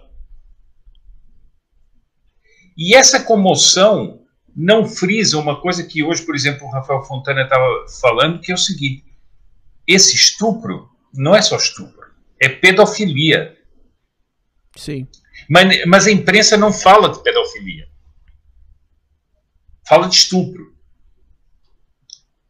Não. É um exercício continuado de pedofilia com uma criança, que depois veio a engravidar. E, portanto, não é propriamente uh, o, o, propriamente o estupro, digamos assim, um estupro. É um exercício contínuo, continuado de pedofilia. E então tudo é distorcido nessa apresentação. É, e eu vi uma, uma, uma, uma objeção que, não, que, que é simplesmente imbecil. Diz o seguinte: quando o aborto importa mais que o estupro, isso é o reflexo de uma sociedade. Isso, essa dicotomia é uma estupidez total não é que o estupro ou o aborto importam mais, é que um é consequência do outro. É, se você teve um estupro, ainda foi um estupro de, ped de pedofilia, que é terrível, não vamos acrescentar a isso ainda um aborto. É o que diz o, o é o que diz o, o Ítalo. Já estava feito. Estava feito a criança já tinha seis meses de gestação. Então não vamos acrescentar a essa cadeia de iniquidade mais uma iniquidade.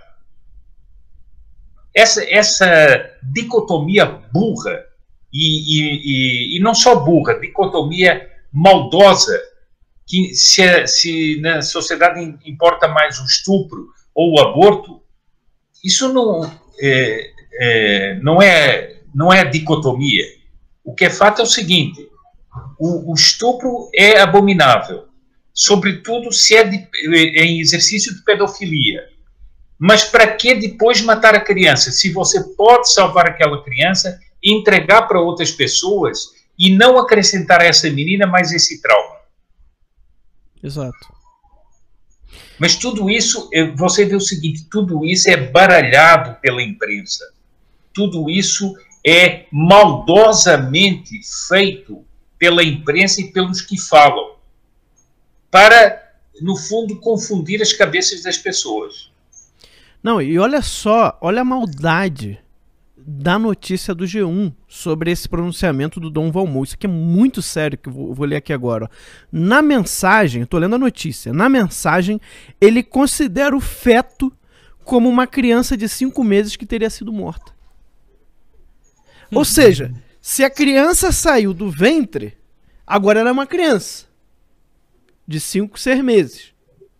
Mas se ela está dentro da, da barriga ela é um feto. É um O feto. que, que mudou? O que, que mudou? Né? O que, que mudou na, na, na- na criança? Quando ela saiu do ventre, que agora ela passou a ser criança, e quando estava dentro do ventre, ela era um feto. Ou você vai dizer para a mãe que teve um filho de seis meses, ah, o seu feto tá ali na incubadora. É. É isso Ô, que a gente vai, vai, vai, vai falar agora? Porque se É. for assim, então, ó, tem que avisar as crianças, ó, nasce logo com cinco meses, porque é mais é menos risco. Se você estiver fora da barriga, você está correndo menos risco. Você vai ter mais direitos. Mais É- fácil é um- você sobreviver, porque dentro da barriga tá perigoso. Você veja que o ventre da mãe se tornou um lugar perigoso pro bebê. É. Isso, isso mostra bem, é que isso mostra bem, o, o- é um dos símbolos. To- todo este caso a gente pode dizer que é um dos símbolos da tremenda crise moral da sociedade atual. A crise que nós estamos vivendo, moral, está bem espelhada nisso tudo. E quando uma pessoa defende que, que a criança nasce e não seja morta, você é o vilão. Você é o vilão da história. Isso é um negócio impressionante, quer dizer. É, e, e, e eu volto a dizer uma, mais uma vez: o que me impressiona nisso tudo é por que essa febre de dizer é preciso matar essa criança, é preciso abortar. Por quê? Sim, exatamente. Deixa eu só terminar aqui a notícia do, do- da mensagem do Dom Valmor, né? E, e dou os parabéns aí ao Dom Valmor, presidente da CNBB, porque quando ele quando falam al- algo, né, que a gente acha errado, que a gente não concorda, a gente critica, mas ele que bom que ele pôde que se pronunciou, né? E se pronunciou bem é, publicamente sobre o fato. Né? Então ele diz o seguinte: Dom Valmor disse que foram dois crimes hediondos, a violência sexual e o aborto. Mas para ele a retirada do feto, olha só, a retirada do feto, né? O, o- o- notícia do G1, não se justifica diante dos recursos existentes para garantir a vida de ambas, vítima e filho. É isso que o Dom Valmor está falando, é verdade. Né? E, e o, e o G1 não vai contestar isso. Obviamente, né? não vai argumentar. Durante a mensagem, o presidente ainda afirmou que orou pedindo a consolação para todos os envolvidos no caso. Né? Dom Valmor, que é presidente da CNBB, Conferência Nacional dos Bispos do Brasil. E aí uma outra fala tá, de outro personagem político, que é a seguinte: aborto é mais que necessário, é recomendado diz Mourão sobre caso de menina grávida de 10 anos. Por isso, né, nós tivemos aí essa, o comentário, né, o, o título que eu botei aqui na, na- no boletim de hoje, Cala a Boca Mourão. É a única coisa que eu posso imaginar pra, pra dizer sem, sem, sem usar um palavrão no, no, no título. É, É, o, o, o, o Ítalo, eh, faz lembrar, vamos fazer umas aproximações, né? Faz lembrar o porquê não ter calhas em relação ao Chaves. te calhas, justamente. É isso aí. Por que não ter calhas, né? É. É, enfim. Bem, e aproveitar agora, né? É, a gente tá aqui com a presença do Alan dos Santos. Bom dia, Alan. Tudo bom? Bom dia, Ítalo. Bom dia, Marco, Deu uma travadinha, mas vamos ver se volta. pelo Twitter. Voltou. internet eu acho que deve estar com algum probleminha aí. De volta e meia aqui eu vou ter um, uma Tranquilo. queda. ah, ainda estamos pro- improvisando aqui. Antes de mais nada, quero agradecer dia. as orações. Bom dia, Bom dia, Alan. É que você tra- travou aqui na hora, mas é uma alegria rever você aqui, rapaz. Obrigado. Tá travando um pouquinho, Ah, mas a gente espera um pouquinho que já deve estar voltando aqui. voltou aí? Voltou? Voltou, voltou. Pode falar. Muito bem. Então, então deixa eu agradecer logo aqui, antes que a conexão caia de novo, né? Agradecer as orações da minha filha, para minha filha que estão fazendo aí. Eu vi vários comentários, tanto no Instagram quanto aqui no, no YouTube. Então, obrigado a todos que estão orando pela minha filha. É, eu ouvi boa parte do que o Sepúlveda falou, boa parte do que o Marx falou, boa parte do que o Ítalo comentou aí. Existe um problema grave aqui ah, que não está sendo tratado por ninguém, né? que é é a questão da manipulação. Vocês aí todos falaram sobre isso. A manipulação da linguagem. né? Quando você faz a pergunta dando nome aos bois, dando toda uma, uma explicação concisa e sem manipulação da linguagem, o debate ele nem se inicia. Né? O debate ele não, não se inicia, né? ou seja, se você chegar e fizer a seguinte pergunta, né? quem é que tem decisão para triturar um bebê? Quem tem decisão para injetar uma salina, uma injeção é, enfim, uma injeção no, no, coração de um bebê, solução salina, né, ninguém vai, vai começar a debater o assunto desde que os termos estejam corretos. E essa manipulação linguística, é, ela só ressalta um problema grave que parece não ter solução, é, que é o fato de que não só a classe falante, ou seja, aqueles que estão no debate público, seja pelo rádio, TV, internet, com grande visibilidade ou não, seja a própria população em si, é, o fato de haver uma manipulação semântica, linguística tão rasteira, demonstra a baixeza intelectual das pessoas ao falar sobre o assunto. Ou seja, se eu vir para vocês e falo assim, olha, Travou aqui um pouquinho, mas só um pouquinho de paciência, pessoal, porque conexão do Alan não tá. Conexão voltou aí? Voltou, voltou. Pode falar. É, infelizmente, é... tá, tá tendo. Aí, ó. Voltou? É, tá... Tra... Voltou agora. Tá. Então eu estava dizendo o seguinte, né? Quando eu digo assim, esse carro aqui não pode ser estacionado, eu apresento para você uma caneca É, tá travando bastante Infelizmente, aqui, nós gente. Não, não, estamos com condições de, de, de, ficar com o Alan aqui. Agradecer aqui ao Alan a disponibilidade. Mas eu acho que não, vai ser complicado mesmo. É, mas a gente vai conseguir resolver isso aí. Ele é. vai conseguir resolver lá. para nas próximas, né, Italo? A gente uhum. conseguir é, é, colocar. Que tá travando bastante, Alan. É. é, não, eu vou. Eu vou tentar resolver isso aqui. Mas o recado que eu queria dar era isso, né? Existe uma manipulação semântica que mostra um, diagnóstico de, de toda uma população que pode ser facilmente manipulada por argumentos infantis, argumentos idiotas, que em outras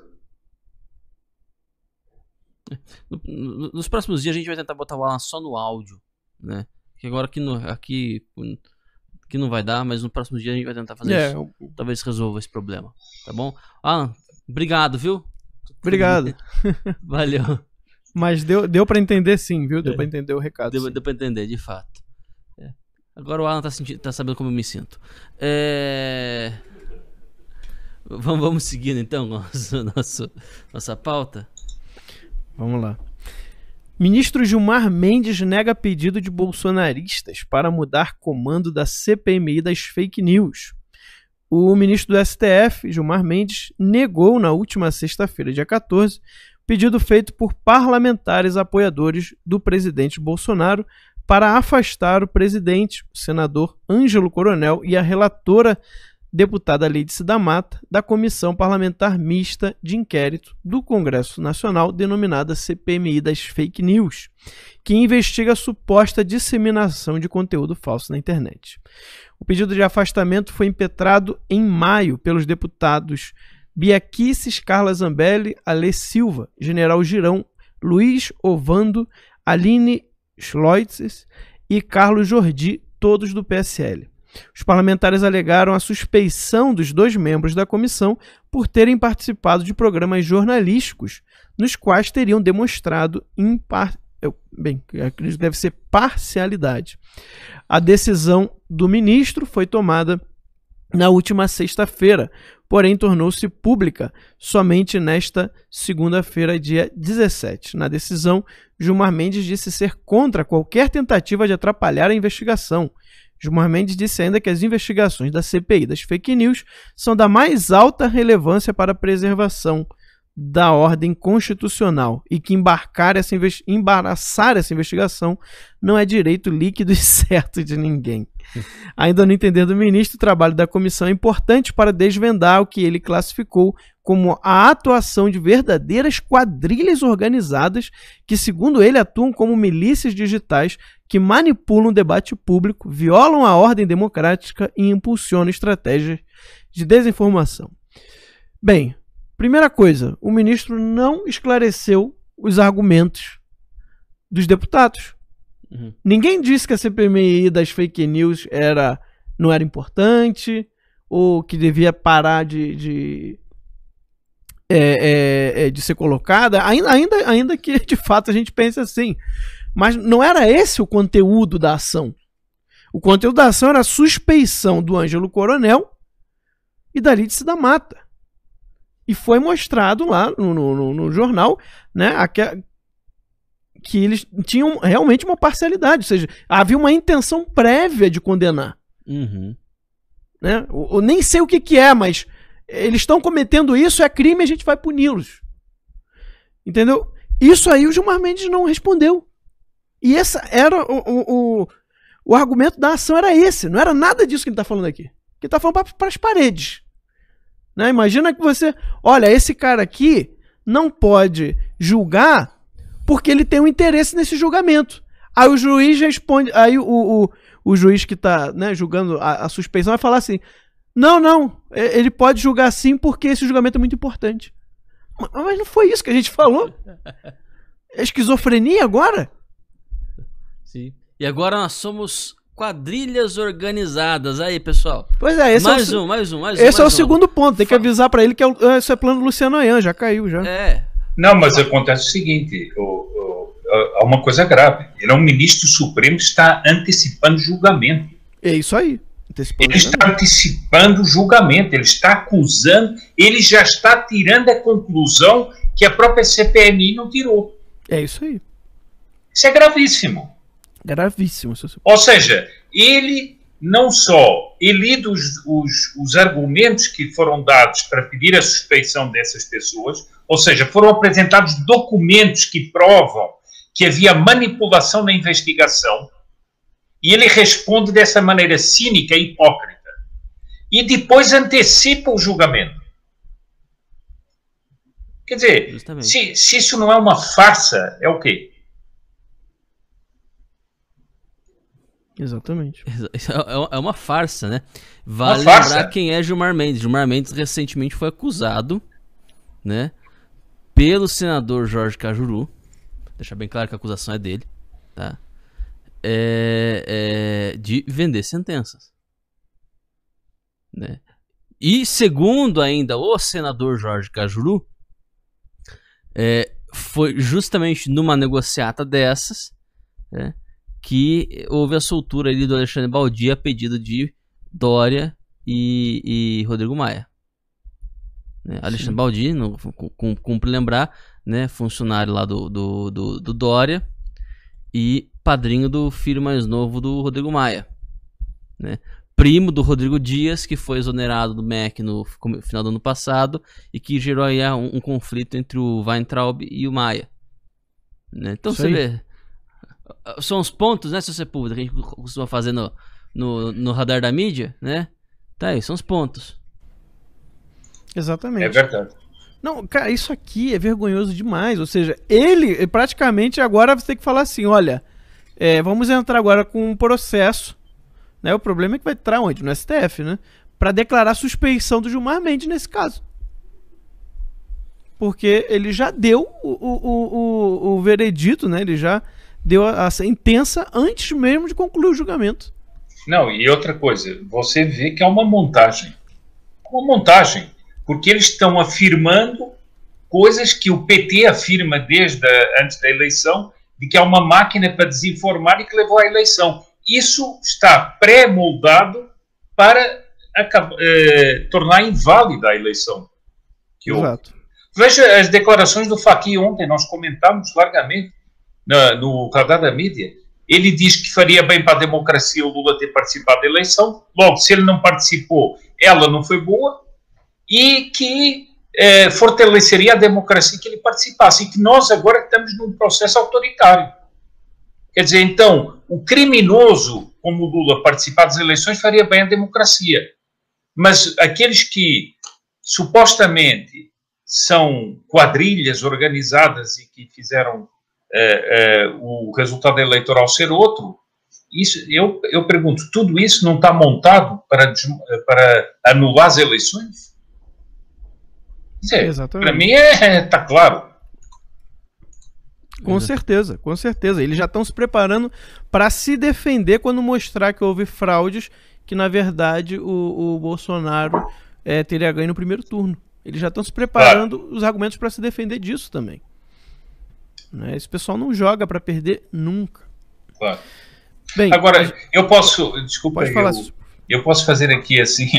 Eu, eu tô. Eu, eu tô aqui assim. Eh, tenta, eh, vou fazer uma pequena subversão aqui na, na pauta. Mas uh, o, o, o título do boletim era Cala a Boca Mourão. E eu acho que a nossa passagem por cima do Mourão foi muito rápida, né? De Não. fato, a gente acabou, acabou pulando por cima do Mourão. É, é, é, é, aquela coisa que a gente vai descobrindo ao longo do, do, do, do programa, né? Então. Mas sabe por foi? Mourão... Oi? É que eu, eu acho que foi o seguinte: como o Alan estava conversando, tentando Isso. falar e não conseguiu, nós depois acabamos pulando por cima do Mourão. Mas eu, eu, eu acho gravíssimo que um vice-presidente da República venha afrontar o país com isso. Sim. Sim. E venha dizer uma barbaridade dessas.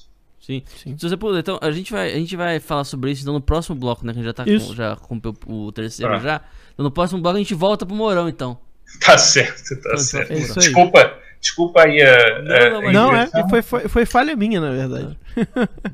Bem, a gente vai então para um rápido intervalo, pessoal. Um minutinho só, daqui a pouco a gente volta. Nada está na política que antes não tenha passado pela literatura. É por meio da literatura que nós vamos transformar esse país. E nós estamos em guerra. Ler, estudar, escrever. Esse é o combate. É nesse campo que nós somos fortes. É nesse campo que nós iremos vencer. A revista Terça Livre está aí. É a maior revista conservadora da América Latina ela está aí exatamente para poder mudar a política. Nós temos como colunistas Ernesto Araújo, o Paulo Enéas vai escrever para a revista, o Mauro Fagundes vai escrever para a revista. Revista tercalibre.com.br, que é ali que nós vamos vencer.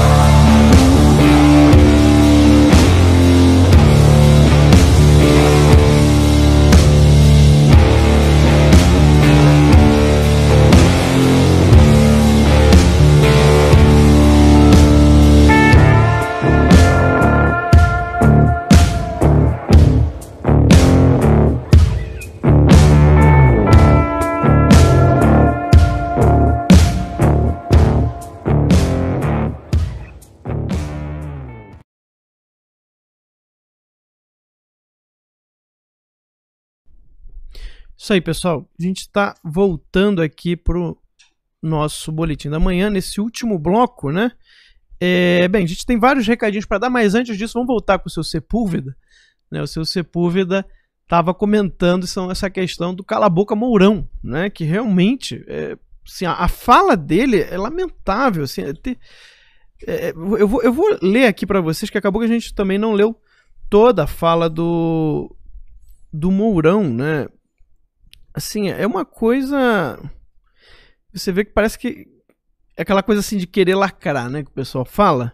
Né? Ele quer lacrar sobre o, o, o, o que aconteceu. E aí ele está aqui, ó. Esse é um crime que foi cometido contra esta criança. O nosso Código Penal é claro. Em casos como esse, o aborto é mais que necessário, é, é recomendado. Como é que uma menina de 10 anos de idade vai ter um filho e vai criar um filho? Isso é um absurdo. Isso para esse presidente, entrevista BBC News Brasil. Aí dá vontade de perguntar, né? Se ele sofre de algum analfabetismo funcional ou algum tipo de É, eu- retardo não, mental, porque isso não é a questão. É, não, e, e- e- e convenhamos, né? O presidente da República, o vice-presidente da República não sabe que existe um negócio chamado adoção? Pois é. Exato. É. Ninguém tá falando isso. Você, você permite uma. Você desculpa, né? Essa. essa essa esse lapso aí talvez de um de, um, de um- uma pessoa né é, um particular né É, o presidente da república não sabe que existe adoção no Brasil O, o vice, né? o vice da, da- da- presidente da república não sabe que existe adoção quer dizer Agora, eu, eu, eu, gostaria só, se você não se importa, Max, ler outra vontade. vez a frase, ler a frase outra vez do Mourão, que ela precisa ser martelada. Se pudesse ler outra vez, Sim. é, Ele fala aqui, ó. Esse é um crime que foi cometido contra esta criança. O nosso Código Penal é claro. Em casos como esse, o aborto é mais que necessário, é recomendado. Como é que uma menina de 10 anos de idade vai ter um filho e vai criar um filho? Isso é um absurdo. Ele ainda comete um outro problema lógico, né? Ele acha que recomendado é mais que necessário. é Quando na verdade é o contrário, né? Uma Exato. coisa recomendada não é uma coisa necessária, né? O necessário é que é mais que recomendado. né? Mas Tudo bem. exatamente ali- além do mais, é o seguinte, ele não deu o Código Penal, porque lá não diz isso. né? Exato. Lá não diz isso. Lá só diz o seguinte, que é crime, mas que não será penalizado nessas condições. Isso isso aí. É, não diz nada disso que ele está dizendo. É, depois o seguinte, é mais que necessário o aborto? É mais que necessário? O que é isso que ele quer dizer?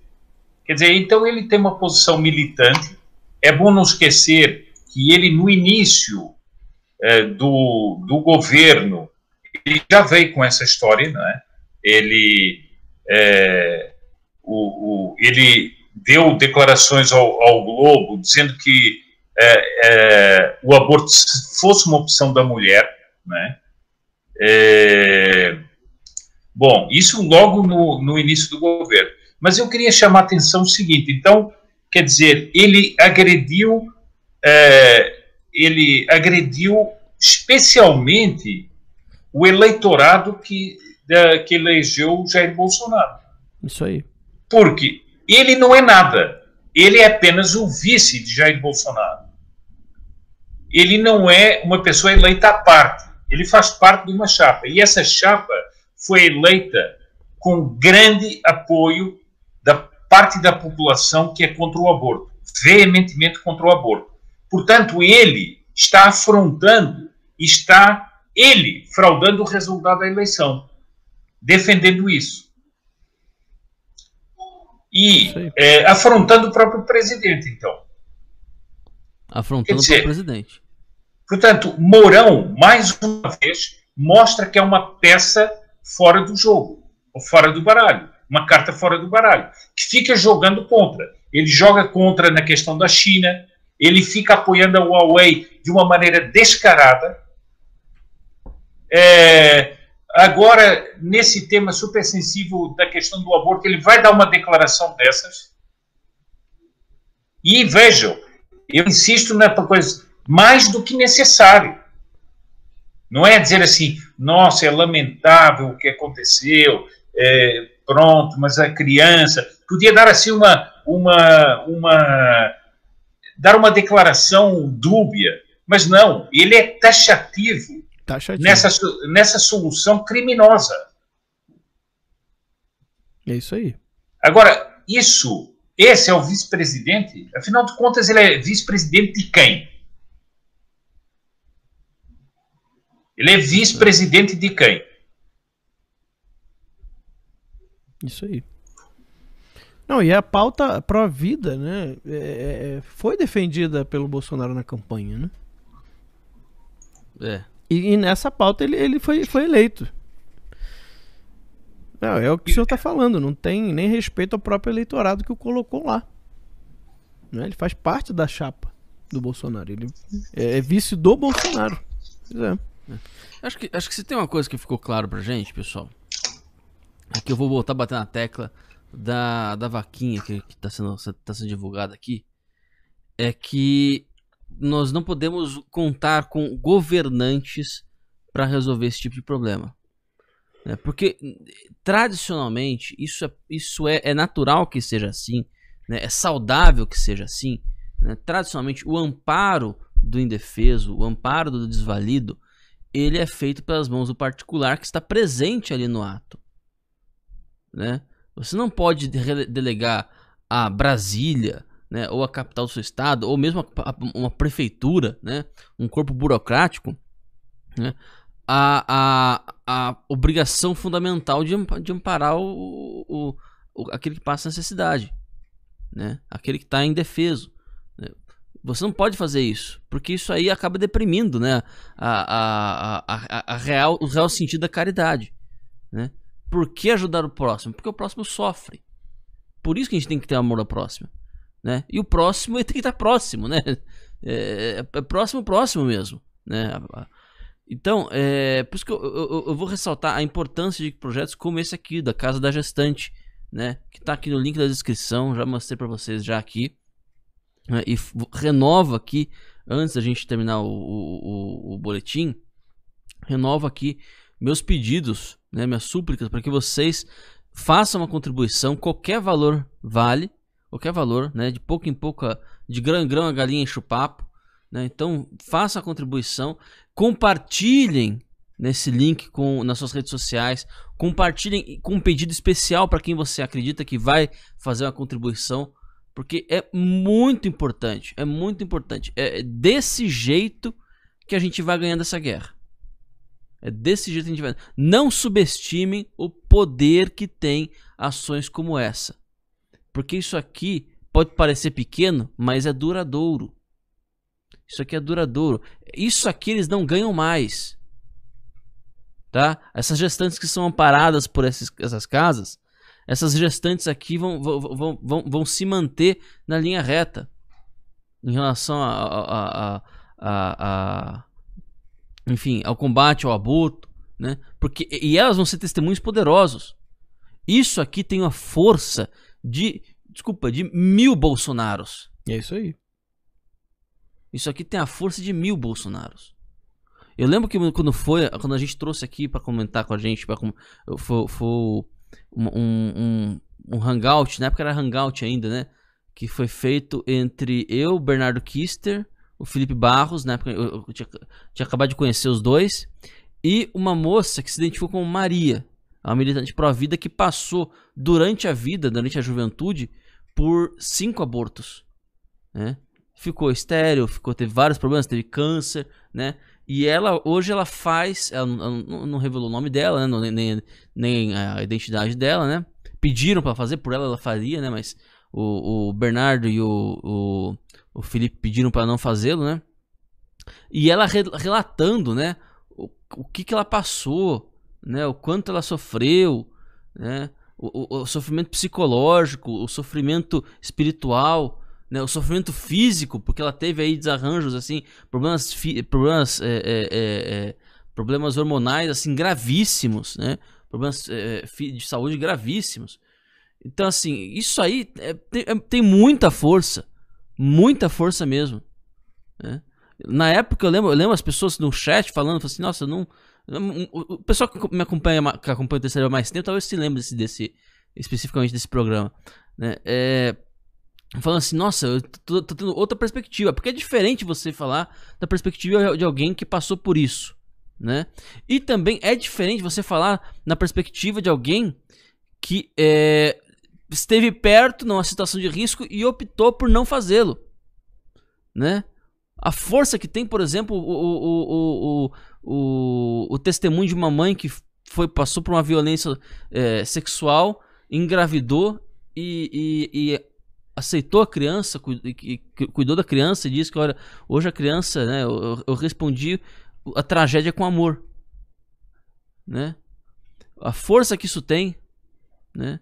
Eu, eu, eu lembro de um, um, um, relato que acho que me impressionou muito, né, de um pai né? A esposa foi violentada, engravidou e, e, e ele adotou a criança, né?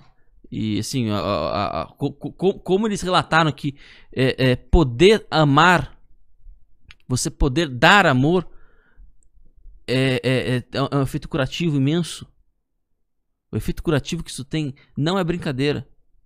Não é brincadeira. Você ter testemunho disso, isso, isso faz com que. É, é, é, é muito mais do que qualquer bancada pró-vida, do que qualquer, qualquer deputado, qualquer presidente. Você ter o testemunho de uma pessoa que diz: Eu passei por isso e eu sobrevivi porque eu soube amar. Isso é, é, é, é, é assim, é indizível, tá? É isso que eu tô pedindo para vocês quando eu faço, quando eu peço para que vocês contribuam aqui com a manutenção, né, e a expansão, né? Não é nem manutenção, mas a expansão, eles estão indo além, né, da casa da gestante. Eu tô falando da casa da gestante aqui de Itaboraí, porque é o, é o projeto que eu conheço pessoalmente. É, tem até ligações pessoais com quem, quem, quem, quem é, é, cuida dessa casa, mas há muitos casos, muitas outras, outros projetos, muitos outros projetos que cuidam de, de mulheres gestantes, de mulheres que passaram pelo aborto também precisam ser colhidas. Isso aí. Né? Passaram pelo aborto. Porque uma, uma das maiores cretinices desses demônios é tentar fazer colar a narrativa de que nós estamos é, é, criticando a menina a menina que, que, que, que passou pelo aborto, né? Não, nós temos que amparar também as mulheres que, que, que infelizmente caem nessa tragédia, né? E também as crianças, né? Que depois que depois que crescem, né? Depois que nascem, também precisam ser amparadas e nós amparamos, né? Procura aí no, no Google, escreve assim orfanato católico. Veja quantas, uh, quantas retornos você vai ter. Escreve orfanato evangélico orfanato metodista, luterano, etc. Vai ver quantos, quantos retornos você vai ter. Procure quantos orfanatos espíritas, né? Veja quantos retornos você vai ter. Agora me fala, uma coisa. Procure orfanato feminista. Vai ver quanto é que vai ter. Não, eu vejo aqui, né? É, é, eu preciso falar isso aqui, tá? Como um desabafo. Vejo aqui muita gente no chat falando o seguinte: olha, eu sou contra o aborto, mas nesse caso o aborto era necessário sim. Primeiro, primeiro, vamos parar de falar eu sou a favor do aborto nesse caso. Não, você tem que falar o seguinte: eu sou a favor de matar a criança que estava no ventre da outra sim. É isso que você tem que falar. Porque é isso que foi feito. O que foi feito foi assassinato de uma criança. Que se tivesse esperado. Ninguém aqui está falando que a menina de 10 anos tinha que criar a outra. Ninguém aqui está falando isso. V vamos parar, sabe, de cair na conversa da grande mídia. Ninguém aqui está falando de que a criança devia cuidar da, da, da do bebê. Ou, ou, será que vocês também não sabem que existe a, a adoção legal no Brasil? O que, que custava esperar talvez alguns dias, tirar o bebê da barriga, por que, que tem que matar o bebê? É, essa é a questão. Por que, que eu tenho que tirar o bebê morto da barriga? Por que, que eu não posso tirar o bebê vivo? E depois entregar para uma família? Que já haviam famílias querendo adotar. Então parem. Sabe? Parem de, de, de, de ficar manipulando as palavras. Eu sou a favor do aborto. Não, eu sou a favor. Se você é a favor do aborto, você é a favor de terem matado o bebê de quase seis meses na barriga da outra. É isso, é isso que você tem que falar. Pelo menos seja honesto. Sou a favor sim de matar o bebê. Por quê? Por que tinha que matar o bebê? O que, que o bebê fez? É isso que eu quero que alguém me diga. Por que, que não podia tirar o bebê da barriga vivo? Por que, que tinha que tirar o bebê da barriga morto? Porque tiveram, vão ter que abrir a barriga dela para tirar o cadáver do bebê. Que foi queimado por dentro. Aí eu pergunto, quantas pessoas hoje, quando vê um cachorrinho, né, machucado, fica todo mundo chorando, ai, o cachorrinho. Não, olha, olha isso. Vou mostrar pra vocês rapidinho aqui. Olha isso. A luta pela vida da égua flor e seu direito do, e o direito do seu filhote de nascer. Uma égua. A OAB ingressa com recurso em nome do animal. Volta lá, volta lá, volta lá. Em nome do animal para evitar a eutanásia por causa de doença crônica não transmitida para humanos. Uma égua mereceu a OAB. E o, o poto não nascido. Uma égua Já dizia Chesterton, né? Onde quer que haja adoração a animais, ali haverá sacrifício humano. Sim. Não, Infalível. O, o, o Chesterton falou, falou isso, né? É. De, de dia eles vão estar adorando as árvores. À noite eles vão estar sacrificando as pessoas. Pois é. É. E olha, a só, só antes de passar a palavra para o Sepúlveda, é, isso aí, tá? Isso aí, eles querem fazer você acreditar que isso aí é, é, é o estado atual da civilização como um todo, tá? Não caia nessa. Isso aí é uma minoria barulhenta, tá? O povão mesmo, o povão mesmo, as pessoas que realmente, né? Nós aqui do povão, né? Nós pegamos aqui a vaquinha da casa da gestante, que tinha 50 reais no quando eu comecei a falar, e agora já tá com quase 2 mil reais. Quase Graças a Deus. Graças a Deus. Tá? Vocês são a resistência. Vocês são o bastião da civilização. Isso não é, não é hipérbole, tá? É isso aí. Muito bem. É, nessa. hoje a gente. Opa, ô, Max, falar, eu, eu pode queria, falar. eu queria só fazer aqui um, um, é, um comentário ao Ítalo e a você, aos que vocês disseram. à vontade. E, e é o seguinte: é, o Ítalo falou de uma coisa muito importante que são essas casas de acolhimento. Eu posso dizer porque eu participei de campanhas contra o aborto em Portugal e, e participei de muitas eh, sessões de esclarecimento, muita, muitos debates. E um dos pontos principais que ninguém pensa são as pressões que as pessoas que vão fazer aborto, as, as mães que vão fazer aborto, as pressões que elas sofrem e que se elas fossem apoiadas muitas vezes, elas não fariam. Por exemplo, essa menina, qual foi o poder de decisão dela? Qual foi o poder de decisão dela? Se um vice-presidente diz que era mais que necessário fazer aborto nessa menina. Quer dizer, então se ela tivesse uma casa de acolhimento eh, que, que, eh, que, que desse todo o apoio, ela, eh, qual seria a decisão que ela tomaria? Bom, outra coisa que você disse, eh, Max, que me parece muito interessante é o seguinte: eu não sei quem foi a pessoa que disse isso. Eu sou contra o aborto, mas nesse caso era necessário. Eu, como eu não sei quem é a pessoa, não não pretendo agredir ninguém, mas eu vou fazer, eu vou fazer um convite a essa pessoa que fique sozinha consigo mesma e escreva num papel porque é que ela diz isso. Isso é um slogan que ela ouviu, é um raciocínio que ela ouviu, ou ela explicitamente é capaz de colocar num papel por que é que ela diz isso. Ela é contra o aborto, mas nesse caso era necessário. Era necessário por quê? Escreva para si mesma. Não precisa falar com ninguém. Escreva para si mesma. Reflita consigo mesma e, e veja se não está repetindo uma coisa porque foi impressionada pela cena de uma menina que foi estuprada durante não sei quanto tempo e depois ficou grávida. Agora pense consigo mesmo e, e, e, e pare justifique-se para si mesmo porque é que ela diz isso. Talvez fazendo isso, ela vá ver que a afirmação dela não tinha tanto, não, não tinha tanto fundamento assim. Bom, e por fim, o, o, o Ítalo disse uma coisa que eu gostei muito, e quando, quando disse, vocês são a resistência, e eu digo mais, Ítalo, é, as pessoas tem que, nós temos que perceber que nós estamos numa luta pela civilização. E, e, em todos os quadrantes em que nós estamos, inclusive no apoiar uma casa como essa, de acolhimento de, para evitar abortos, isso é uma luta pela civilização. Isso é um, um. E essa gente que está impondo estas coisas, como a imprensa, como todas as máquinas de propaganda, e como vocês repetiram aí a frase do Chesterton, eles vão adorar árvores de dia e se sacrificar pessoas à noite. Vão adorar animais, mas vão sacrificar humanos. E os humanos vão ser sacrificados dentro dos, dos ventres maternos que vão ser transformados em túmulos.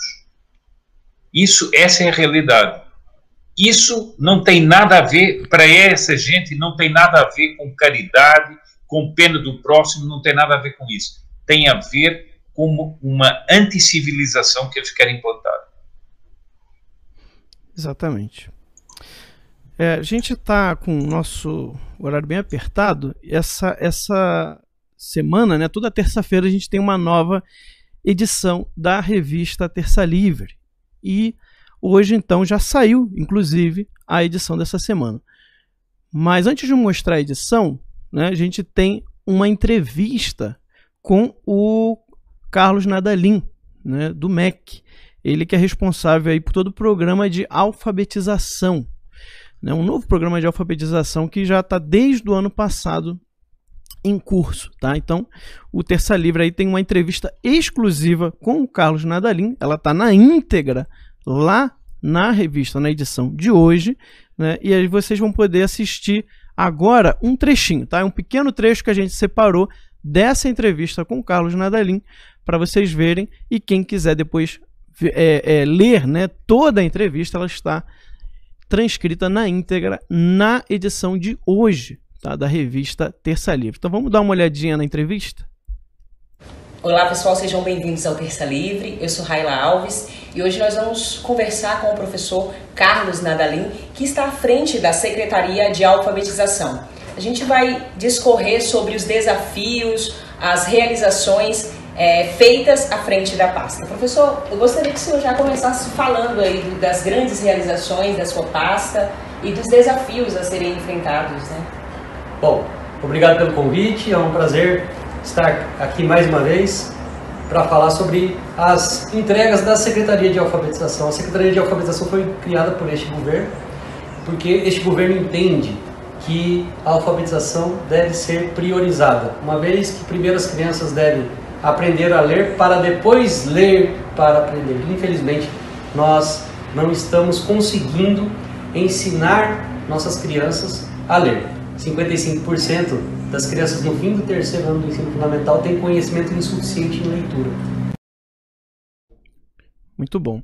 É, então, lá na revista você já encontra a transcrição tá, dessa entrevista. Né? Tá lá toda a parte é, escrita do que foi falado na entrevista. Mas vai sair também hoje à tarde, né? acabei de ser informado, o vídeo inteiro da entrevista lá na revista Terça Livre. Né? Então, quem for assinante vai poder assistir também, além de ter a transcrição da entrevista, vai poder assistir também a entrevista na íntegra, né? A gravação na íntegra da revista terça, da entrevista com o Carlos Nadalim. Vamos então mostrar só um pouquinho, né? A edição de hoje. Tá aí, ó. É, vai baixando ali para o pessoal ver. Essa é a capa, o custo bilionário do judiciário, tá? Essa matéria escrita pelo Bruno Rodrigues, tá? Muito boa também, muito interessante. Ali, ó, alfabetização é prioridade, afirma Nadalim, a entrevista com Carlos Nadalim, e o Stop Globalismo, né? Com o slogan Não deixe Jorge Soros pensar por você, a resistência, como é que saiu ali? A resistência contra a agenda globalista do bilionário ganha eco no Brasil, né? Então, uma matéria sobre o dia, né, 12 de agosto, lá os Top Soros. Né? Então aí está todo o índice para vocês verem, tá?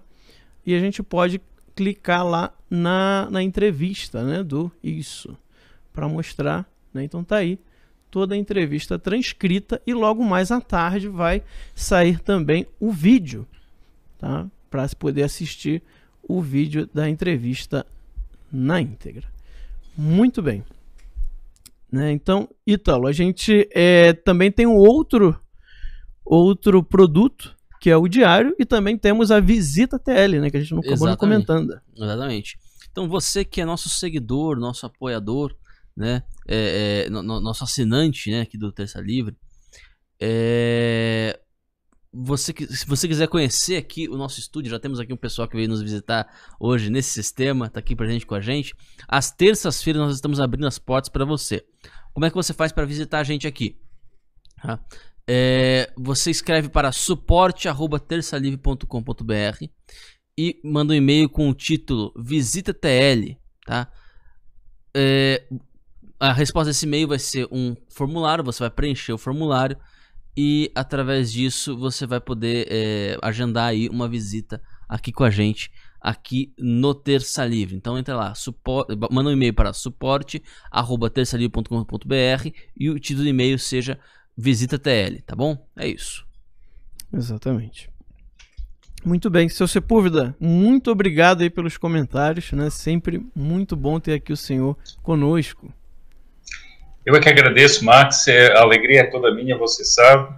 É, um, um, é sempre é sempre um prazer assim poder é, poder estar aqui no, no boletim da manhã do Terça Livre e acompanhar assim um noticiário especial e dado sem sem manipulações, já que o Alan falou da manipulação, é Sim. é o, o, que é que é feito, né? E um bom dia a todos também que estiveram aqui. Um bom dia ao, ao Ítalo.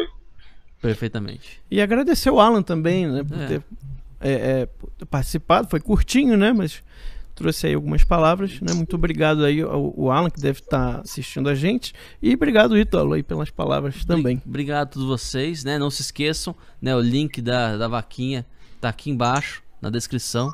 Tá? Entrem lá, acessem lá, façam uma contribuição.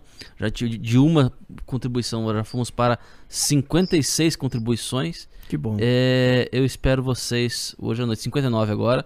Espero vocês hoje à noite no Boletim da Noite. Um abraço. É isso aí. Então a gente vai encerrando esse boletim da manhã e logo mais à noite nós voltamos às 20 horas com o boletim da noite. Fiquem